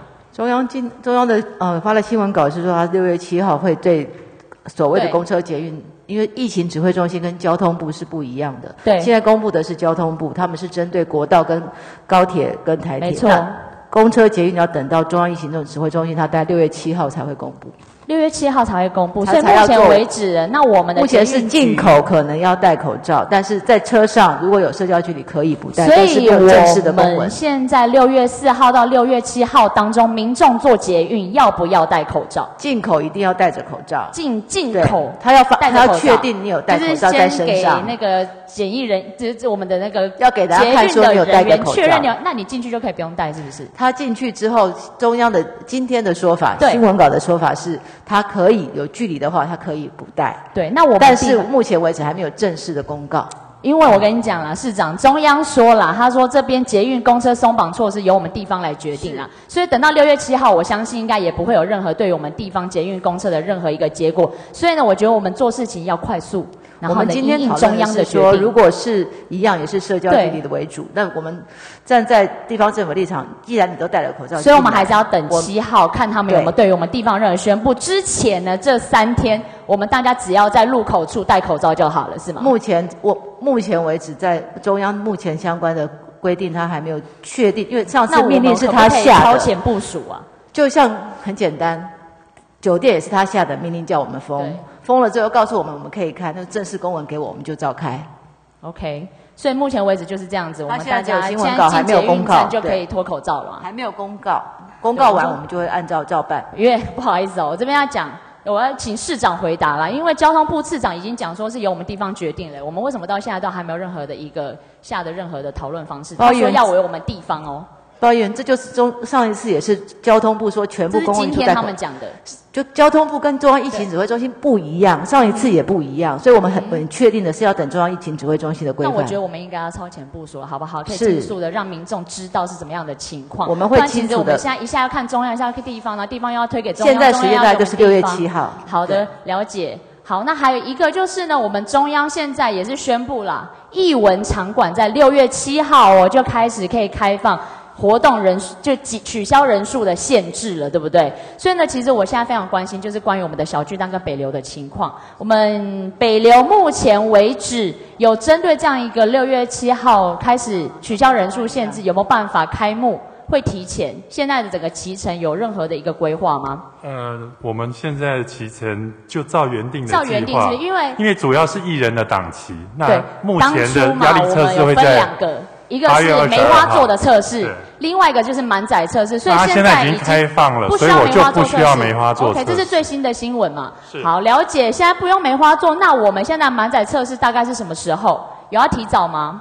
八二二，还是一样八月二十二号？主要是艺人档期所以我们现在六月，我们还是要等两个人档期月。的问题，对所以艺人现在卡在就是说他们艺人的档期没办法目前就是八二二敲定那因为我认为啦，八月二十二号暑假也过了，很多的那个年轻的学生，他们也其实也没办法参与到这样的一个盛宴，我觉得认为非常是可惜的事情啊。因为北流我们都一直在等待，那现在因为疫情，你看中央已经取消了这样的一个人数的限制，我觉得我们是不是这边可以来看一下有没有办法来做一个时间性上面的修正，这样子。那小巨蛋呢？七到九月的艺文团体哦，他们相继取消。那现在是不是你们有进行一个联系？希望他们我们已经都公告了，我们会对开，我们会那有。多少团体他们想要在七到九月？现在在受理申请。OK，那有有有任何的团体回应说他们愿意吗？目前有啊，而且我们减半，所有的场租减半。对，因为我刚刚有问一下我们的局处啦，那个他们说现在好像七到九月，目前原本取消的人，他们还是说不愿意回来，所以等于我们会有两因为他都个月的排到明空置那空的部分我们对开放申请那对针对于我们这个小巨蛋这两个月的控制期的话，我们到底有没有相关的一些呃规划？我们就是开放申请，已经有团体来申请，但是也要经过相关的那个文化局，他们会做审查。不过减半是个好事啊，希望更多人来参加。场租全部减半对，那现在还有一个重要的是，我们小巨蛋动辄每次演唱会都上万人，那呢，我们解封之后还是必须要依照实名制嘛，对不对？那请到这个实名制的整个 SOP 是长什么样子啊？就是我们有一个 APP，我们有一个 APP，对，所以进场的时叫候的嘛，对不对？那你们现在每个民众，如果说今天办了一个上万人的演唱会的话，是每一个人都要拿着身份证，没有我们然后到不是前面去刷，然后才我们直接直接用手机扫描他的身份证。对，在现场嘛，对不对？对所以到时候如果开放演唱会的话，也会是是也是会大爆满，民众要三个小时以前才能够去。没有，我们每一个每一个人员身身上的手机都可以成为扫描器。都能够提早超前去思考这样的事情。现在都在像动像动物园都在测要实。名制很难，因为我今天坐这个位置，然后呢有没有绑到我的身份证，都是一个考验哎，对不对？因为他还有购票你们要怎么去绑这个问题啊？他有购票记录跟他的身身份证的扫描所。以就是说我在购票的时候，我就要登录我的身份证。现在是这样的情基况基。本上购票的时候就是实名制嘛，那实名制之后再跟身份证，我们这边也会做勾稽。如果发生疫情的话，可以查得到。好，我希望这个东西都可以有一个详细的说明啊，因为我相信在这个地方你可能也没办法说的非常的清楚。可是我觉得未来都是我们对于艺文团体这种表演很大的一个挑战哦。还有现在还有针对场机场租的减半，刚刚你也有说到嘛？那现在可能就是可能会延到明年年中。在场租减半这个部分，场租减半是有可能，从6月因为有7很多的号开始到12我们大家都月六号六个月那我想请问一下，就在这段疫情期间有受到影响的，他们也可以享有这样的减租优惠。如果他的申请期间不是在明年年中以前，今年因为我跟你讲，有一些团体他们的表演是是在 Christmas，今年我们六月七号才就开始是有一些特定的期间的表演。如果我的团体的唱的歌都是圣诞节歌，我可能今年可能受到疫情影响，我没办法，我一定要到明年的六月以后。或者是像我们的金曲奖也取消啦，都通常都在六月三十号左右嘛。那他们明年也是要在六月三十号，我们就没办法场租减半。所以可不可以针对影响到的艺文团体进行也是场租减半的这样的一个？我们现在预计，我们现在已经公告的是六月七号到十二月六号，所以如果您说的是明年的部分，我们可能到时候要再讨论一下，明年要不要再减半只。要是我们可以再讨论受到影响的，我觉得都应该要去帮他们争取，好不好？让他们都可以享有场租减半这样的一个议员提。供可以提供具体一些一点的内容给我们再做一些讨论。OK，了解，谢谢哦。那接下来我要针对我们的市政部分，有很多没办法解决的地方，哎，你们各区就是可以先回去了。没办法解决，我一定要跟市长来讨论一下。我觉得真的很心塞，这个这是一个市府一直都解决不了问题。我们在部门咨询也提出了哦，然后呢，局处首长呢也回复的文都是我有点无飒飒，我觉得说这是什么意思，非常没有诚意啊，那个也也觉得傻眼哦。所以我在这边呢，希望可以透过市政总市政总咨询来跟我们的市长来做个讨论。目前建筑施工发生的施工问题哦，因为前阵子我接到我们文山区有居民反映旁边施工，他们觉得有吵杂，他们去抗议，然后呢就是。他就澄清到我这边来了，然后呢，我就接货这样子案子，我就去了解。那结果那个建商有跟我讲说，他们其实都很想要，就是说在一个合法程序下施申请一个很核准的批准进场施工时间。可是，一直以来哦，他们到处碰壁，都没有人要理他们，每个人都找不出一个方法来看一下目前施工的工程的规范。台北市建筑施工时段管制办法就有提到，第四条提到，我们的施工作业哦，平日不得在八十点晚上十点到隔天早上八点之间施工，这是 OK 的。那例假日呢，也是在八点以前，十二点到两点，然后还有六点晚上又不可以施工。其实我认为这样的规定呢是非常合理的，因为很多民众他们就是作息时间就是这样，所以我们不希望施工都会吵杂到民众的正常作息时间。那其实呢，在这个地方啊，也有说到，如果没有依照这样的施工时间去做的话，他们不管是会罚他们一万八千元到九万元上下的罚款以外哦，市政府也会强制勒令停工。可是市长，我想问一下，不同的工程，他们会不会针对不同的环境因素还有施工的条件，有遇到不同的问题要去做调整？会不会有这样的一个情况？目呃，预测目前是只有，因为他们不一定能够在你们所法定规定的时间，如果有各各种因素、环境因素啊、施工条件，没办法去做一般排除的话的建筑工程还是依照我们这个施工的。没错，这是一个大原则，大原则问题不会去改变。可是有没有例外的情况？我在这边就要提到，我们在文山区新楼路三段就有一个建案，现在是这样子，它唯一紧邻的道路是我们在文山区这个地方非常的交通拥挤哦，车水马龙，然后还有学校、医院啊，各式各样商店街，那其实。很密集，我们都知道，公车呢进进出出往来也很密集。可是现在呢，这个施工的工作啊，他们要申请吊挂作业，我们来向市府各个的局处来进行澄清，还有寻求批准，结果全部碰壁。我们来看一下，市长，你看一下，监管处表示，因为你路边有一万两千伏特高压电，所以我们吊挂必须要单向车道两条全部封闭，哦，然后你才可以进行。这样他才可以那个吊挂作业才越过那一个他们的高压电缆嘛，不然会有公安的疑虑，合理对吧？那交通局跟交通分队怎么说啊？这地方不好意思哦，你们白天不宜施工，会造成交通冲击过大。交通局说，哎，不好意思，不是白天哦，全天哦，你要吊挂的话，你占用车道，因为前后向动过窄，公车的问题很大，因为怎样，我不能通过，我一定要绕道转弯。所以在公车营运时间，不好意思，你不可以通过交维计划，你也不能吊挂，所以不好意思，你路权申请不到。所以请市长您看一下，这是建商提供的时间，公车营业时间红色上面对不对？五点半到差不多十二点，我不能施工。再来呢，下面施工规定的时间呢，也是我们晚上十点以后到早上八点以前不能施工。所以市长，请问一下。一个绩优的建商，他们想要在这边盖房子，该怎么盖？可不可以给我们一个方法？是一座，而且这个我已经哇，跟你们中间已经不知道来回讲过多少次，希望可以你讲的这个个案，其实它是已经屋顶板盖了。那后来在公务执行完，公务执行完，我们有找相关局处来讨论。对嘛？那你们回应我什么？讨论完，市长，市长。你们他们回应我们说，他说不好意思，我觉得这边要等待电缆地下化后，我们才得以解决。我们都知道电缆地下化过去一直以来都是我们文山区很重大的问题。那大家很想要改变，可是有时候会碍于我们的道路可能过于宽窄小，或者是居民不想要把他们那个高压电放在他们的门口，所以这个问题并不是说一两年可以去做解决的，可能十几二十年都没办法解决。那未来我们新隆路三段，不知道市长你有没有去过那一条路，就是很多老旧建筑，大家都在等待围老。重建施工啊，还有都更，所以这只是一个开始而已。如果这个一个开始都没办法做，然后让人家的厂商一直在那边等待，那请问一下未来我们就整条怎么去做一个改善？还要我们等待电缆地下化？这是你们给我回复，就是我刚刚一开始说的，我真的看到汗颜了，我不知道怎么回答。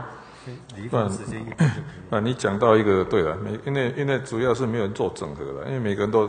你你问每个局有他不行的时间，合起来就通通不行了。没错。你你讲，我想这样好了。用个案去看全部。我我们我们回去开开个会，看这种事情怎么解决。对，而且市长，谢谢您的那个回应哦。那在这边呢，我一定要提到，我们这边台北市政府是只许州官放火，不许百姓点灯哦。为什么我会这样讲？因为呢，在这个第四条刚刚提到说，这样的平日还有假日这两段时间哦，不能施工的最后一条，你们写上。本府工程主办机关报本府核定自行管制者不在此限，什么意思？就是我们市府自己做工程，OK，弹性时间我们都可以随性，我想要什么时候做就什么时候做。哦，那你们民众的话不好意思，法令很死哦，就是这样子，你不可以施工就不可以施工哦。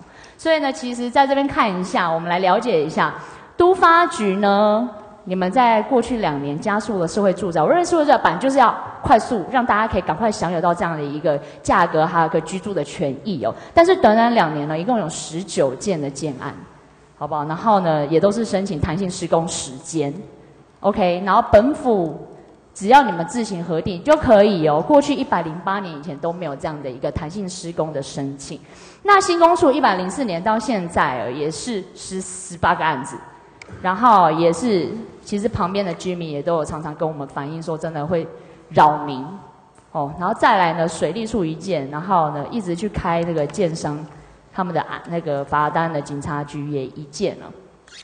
市长，为什么我们的市府都可以去做一个弹性，对我们的民间想要合法申请的优良的厂商，却没有办法让他们寻求一个折中最好的方式？因为他们都希望这个案子可以赶快落成，没有人希望卡在那边，每天就是在我们的市政府中间跑来跑去去找一个方法。因为他们其实诚意十足，他们有提出很多很多的。就是解决方案啦。那在这边到处都碰壁，就说不好意思。所以这个东西我一直卡在心里，我一直觉得说，希望市长可以了解到，有的时候你们对自己是一套标准，然后对民间又是另外一套标准，其实大家都觉得，看来其实都不知道该怎么办。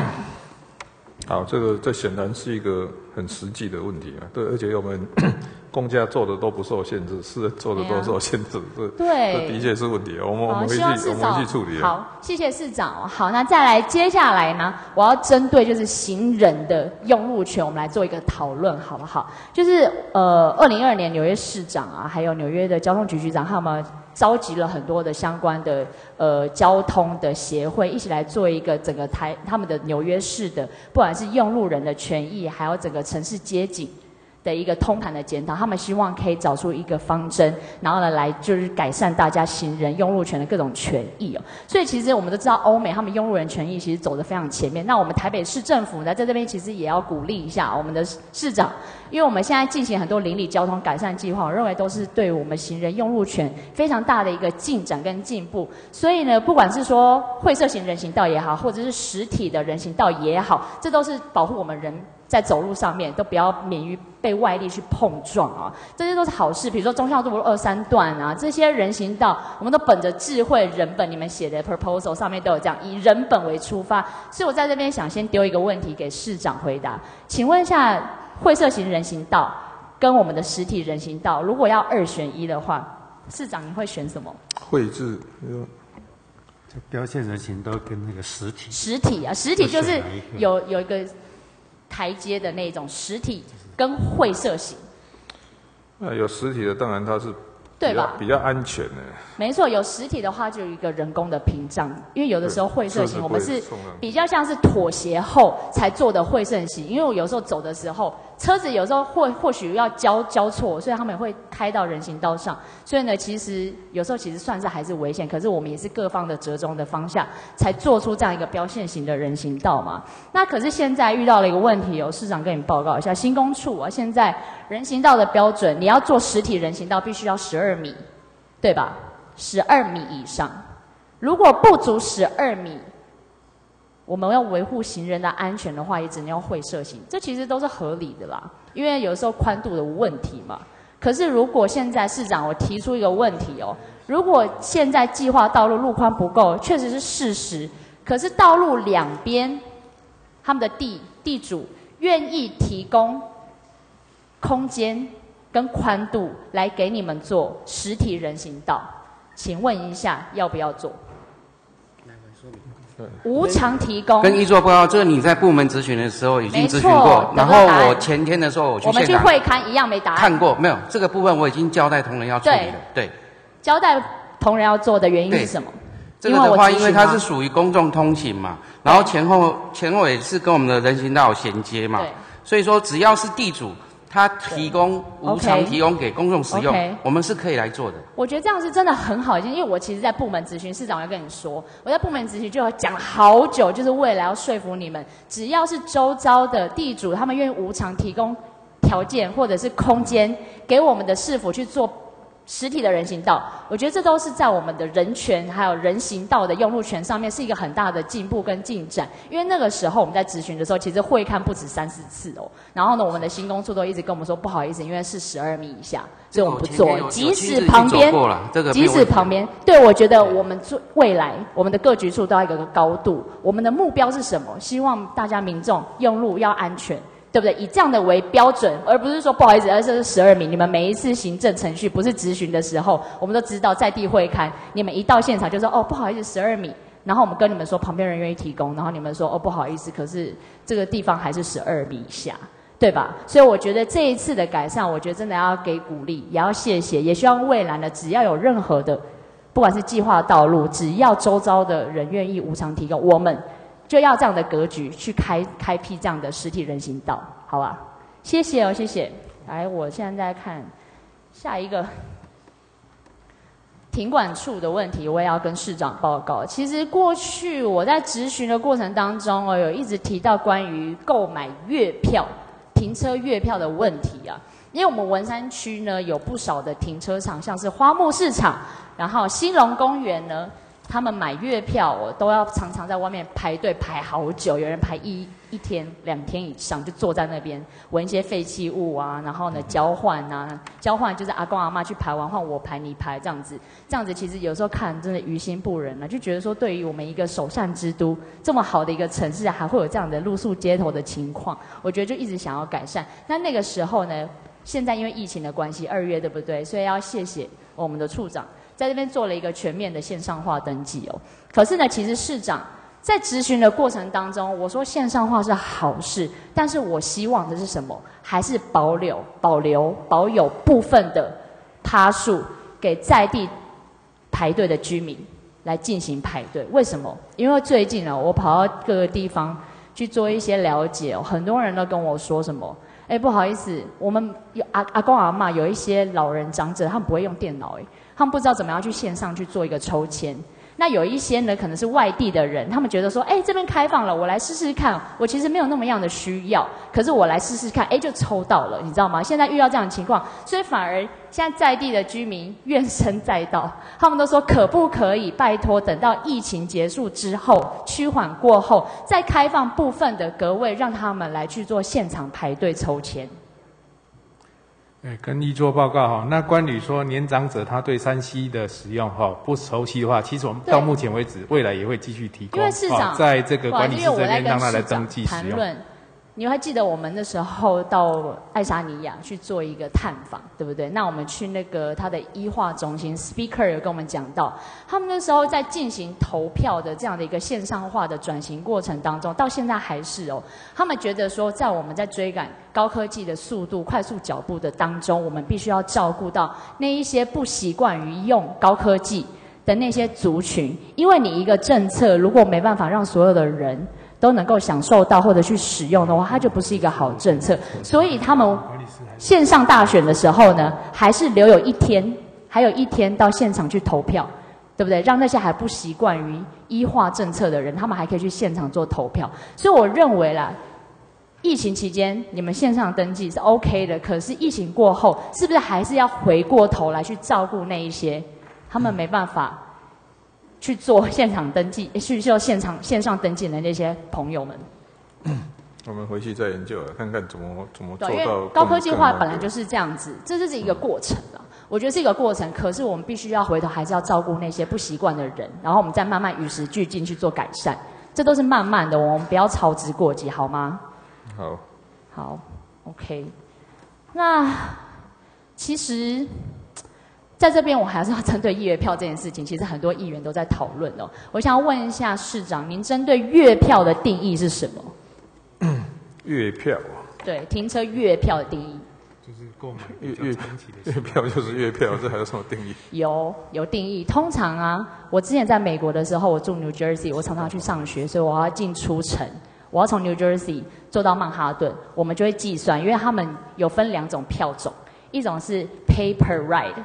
你一次付一次的钱，另外一个是 unlimited，就是我会计算我使用率有那么高，如果有达到那样的数字的话，我就会选择用 unlimited，因为我觉得划算，相对有优惠折扣。这种方式呢，用在我们的市府或者是各种政策，都是希望能够鼓励大家去采用就是大众运输交通工具，对不对？因为我们行销学有一个就是叫厌恶损失的，就是相对于得到的钱，如果失去的钱。这样的比较，大家对于失去的钱都会比较看重，所以呢，我先付了这个月票的钱，我就会加重我使用的密度。所以呢，其实很多市府、世界各国政策，他们在做这上面，他们都会希望能够采用这样的一个鼓励大家消费的这样的一个心理学。所以在公共运输上面可以减少碳足迹，大家都会用月票。可是我们回头过来去思考这样的一个月票套用在我们的停管处上面，所以我常常会想不通。因为我们每次都好像是上帝抽选 lucky 的选民哦，大家去抢这个票，然后呢有没有投抽中的也不知道。我到底就是就是现在就是遇到一个困境，就是说我享受这样的折扣，因为我我现在给你们看了一个表格，就是这样，我们经过了计算，停管数资料统计，呃，现在我们每小时嘛收费是二十块钱，对不对？然后呢，一个月平均使用的次数，也是你们提供的资料，十四点三次。然后呢，我们预估每一次大家使用我们停管处的月票，我们都会停大致上十二个小时，这个平均值二十乘以十二，再乘以每一次我们用十四点三。民众他们使用月票，其实他实际上，如果你今天不用月票，我实际只要付出三四三二元呢。那我们现在嘞，我们的停管处收大家月票多少钱？四千八百块，所以等于我们市府吃掉了民众一千三百六十八块。所以月票不是一个划算的事情的，民众他们不知道他们预付了这么多的钱，因为现在遇到很多情况就是民众他们要去停的时候停不到位置，市长，也就是我要吃吃到保钱那个。餐厅先请你先付一下我们吃到饱优惠价格，一进去说，哎，不好意思，没有位置。现在到处民众都在说，他们没办法停到车位，还要付这样多的价格，非常的不合理。所以我认为，是不是应该以实际上民众的使用次数来进行折扣，这才是一个城市该进步的一个想法。因为为什么呢？我们来看一下北捷哦。他们取消又有卡八折优惠，用忠诚回馈。我认为我们停管处可以使用这样一个方法，因为技术上现在都是车牌辨识直接进场，这是一个很好的方式啊。要大家实际使用，然后再进去折扣，而不是说一开始先给你折扣，你有没有用到不是我的事情。市长，你你了解这个概念吗？因为现在民众提不到那么多的次数，然后你们还收这样的价格，其实已经是与时俱进，已经跟不上了啦。对，现在听得懂吗？因为我们现在北捷哦。有针对你实际的搭乘次数，十一到二十次有现金回馈十趴，它是针对你实际上有使用到的次数。然后二十一、三十到十五趴，那三十一到四十是二十趴，这样与递增。五十一次以上就给你三十趴优惠，它是针对你搭乘几次来做一个折扣，你懂我意思吗？所以我们有没有办法以后未来停管可以？保留一样，保留我们的里长、里民的优惠以外呢，我们设一个天花板，一样是你们现在的四千八百块。可是以前呢，针对我的使用次数来进行一个折扣。跟一做报告，那这一部分包含使用次数越多，其实它到最后转换就是说使用时间越长，那会得到更大的折扣。那以我们现在来看，其实我们台北市停车场的一个算是困境啊，其实它使用时间都很长。所以，我们停车场向来都不太够用。所以说，现在把它当成是不够用，因为民众都成个塞爆在那边啊，所以停不了车。使用时间比较长，所以说，如果现在是用呃使用时间越长，它的获得折扣越大的话，其实是在鼓励不是是用次数来对用次数来算，不是使用时间越长。到最后，因为这个经济的行为，它到最后还是会会回到时间。它因为实际我们看来不要用时间去计算了，如果用次数去计算了，这样也可以提高周转率啊。如果这样，就是那天花板拿掉的话，会会更实。而且超卖的情况，那你们要怎么解释呢？哎，超卖这部分我跟因为我们已经经过精算了，我知道。我们把每个停车场拿出来，就发现民众平均的使用的时间跟次数，然后再去乘，你们四千八百块根本就是超收啊！没有，呃，这跟一做报告。那目前我们是在我们月票算法是以八小时来计价，所以是。每天八个小时二十二十块的话，所以是四千八是这样所以有没有办法改变月票改成忠诚回馈啦？以针对他们实际的使用的次数来做打折。我的意思是这样。这个。因为我们一直预收，然后人家用不到，所以才会出现问题啊，对吧？这个这个要嘛，你一下一下子讲，我们要回去想一下，真的。对不对，市长？你先收他们钱，结果民众都一直在反映说，我每次要停的时候都大塞满，所以我都不能停我那个有付预票预月票的那个停车场。是，那我我还呃跟一做报告哈，那您的您他上次因为月票这个问题，我跟你讲已经卡太久了，好多议员都来提，每个人提不出方法。你们用月票，民众一般的想法都是觉得，我月票反正就应该要停到车位，为什么不给我停车位？还不如用忠诚回馈。现在我看悠游卡的技术，还有整个前面的那个车牌辨识，都会克服这样的问题啊，好不好？因为我常常每次他们又一有窘境的时候，我们办公室大家全部然后的召集各种大家的民间团体呀，还有学术组织都来帮你们在想办法，可是每一次都卡在你们。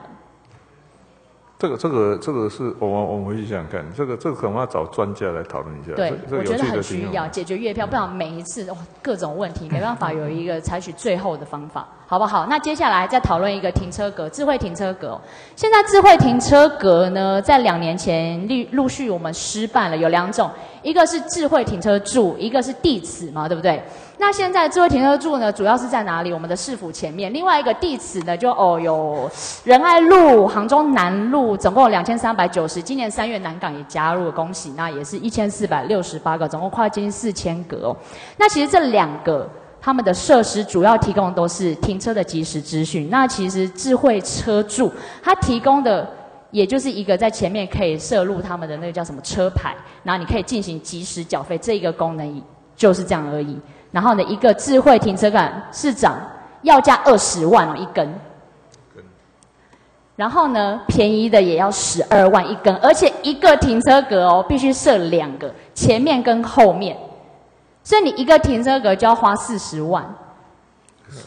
大角度的辨识情况下，我们有问很多人，大角度情况之下只有三乘五的辨识车牌的水准。所以呢，前后各一根，至多七成。所以很多的情况，其实有很多的厂商跟我们讲说，其实这个情况哦，就是还是要靠人眼，所以并不能完全摒除我们想要一开始设置这个智慧停车柱，去消掉那个旁边平常骑骑那个小蜜蜂来放那个我们的那个叫什么停车的那个停车票券。所以你还是要靠人力去在后台去做一个车牌辨识这个标准。所以我认为一个停车格要两个，然后呢整排我看。我跟市长，这个整个台北市停车收费的历史过程来了解一下哦。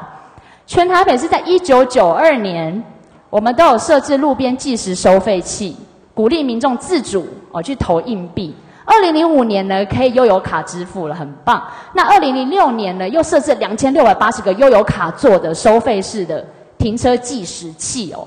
那最后呢，为什么？现在我们大家没有看到路上有，因为使用率偏低，使用率偏低，所以在二零一一年的时候，所有路边的停车计时收费器全部拔掉，然后呢，全部改回现在的人工收费。中间经过了这么多的历史跟历程，从建到拔掉。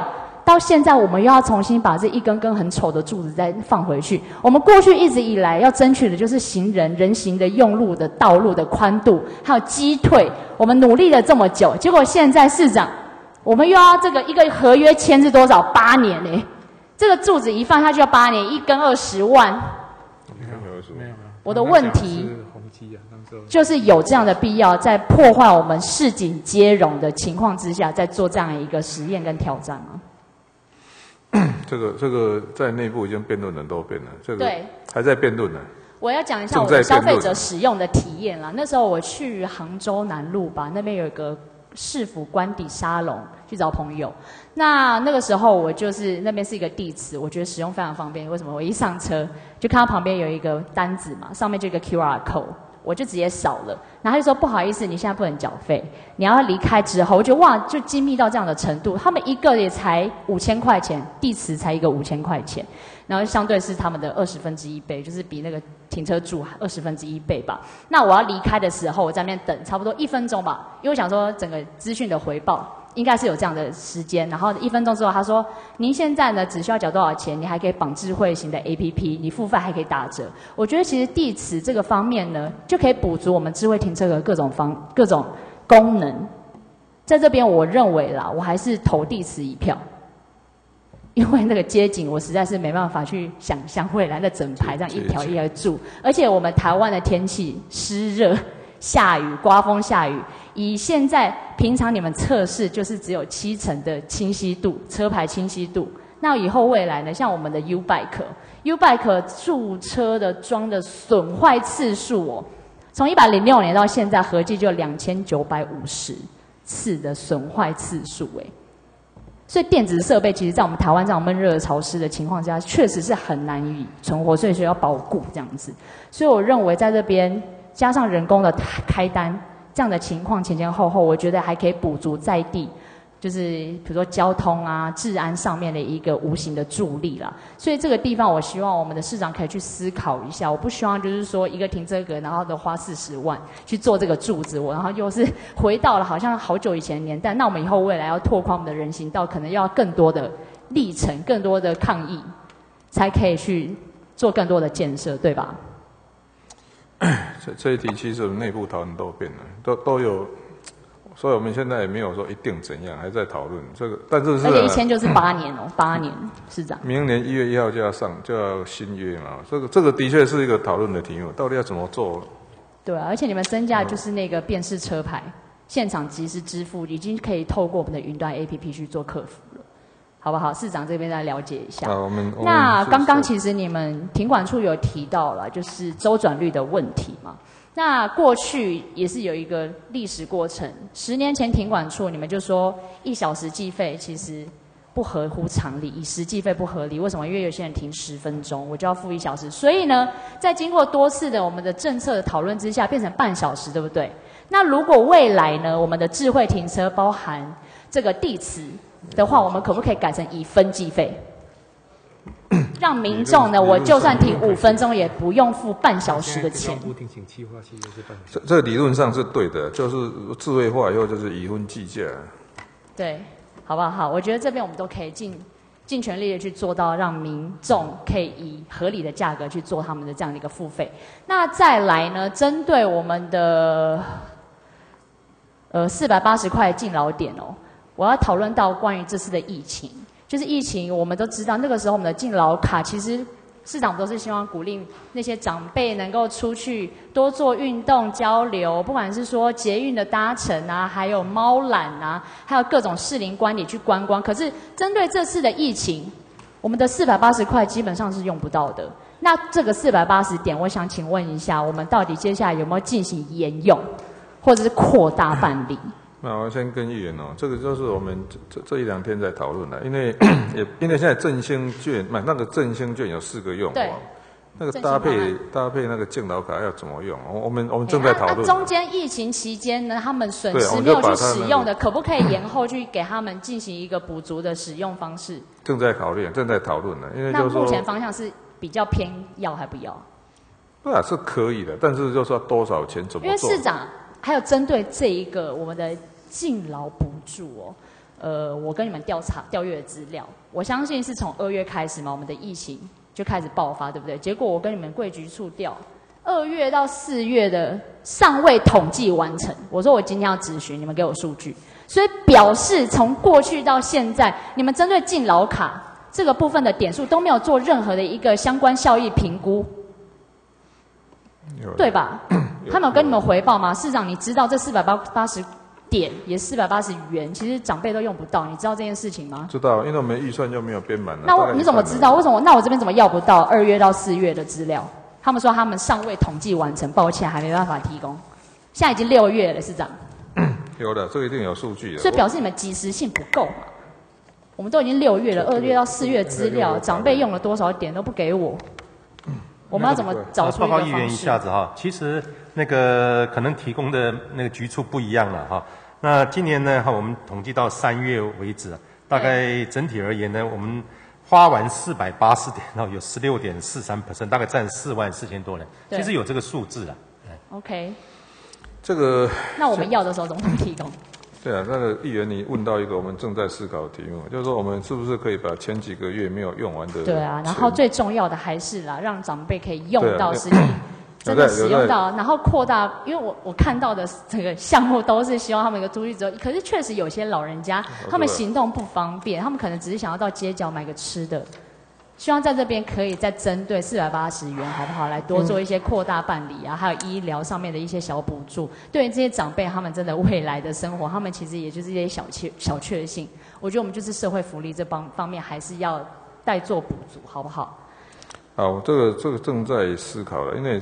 趁趁这一次这个振兴方案哦，可以可以作为促促促促进促进产业振兴呢。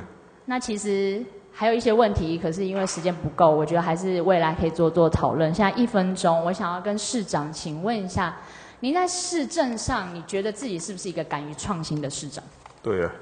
改变成真嘛，对不对？那时候我们都有讨论到，希望能够改变。可是我发现，在跟我们各局处多方讨论的情况之下，大家都只针对自己局处内内部 routine 的工作来做一些改变，却没有常常会有突发奇想，或者说来做一个实验的精神。所以其实我们根本很难改变成真。一个城市、一个社会进步，都会要有人跳脱框架去做一些想法跟改变，这城市才会会有建设，才会进步。所以我在这边。斗胆的想要建议我们的市长，有没有办法以后未来真针对每一个局处，希望他们在每一年都可以提出五个创新方案，然后我们大家来寻找一个实验场域，来做一个这样的实验。可以，这很好。可以吧？可以。太好了，谢谢。我希望到时候未来可以看到一个详细的 proposal 跟计划。不然的话，每次都是好像我们在帮大家寻找方法，然后讲破头了。他们说不好意思，不是我的业务范围，我不进行讨论，好不好？谢谢，谢谢市长。好，第四组咨询结束，呃，休息，四点半复会。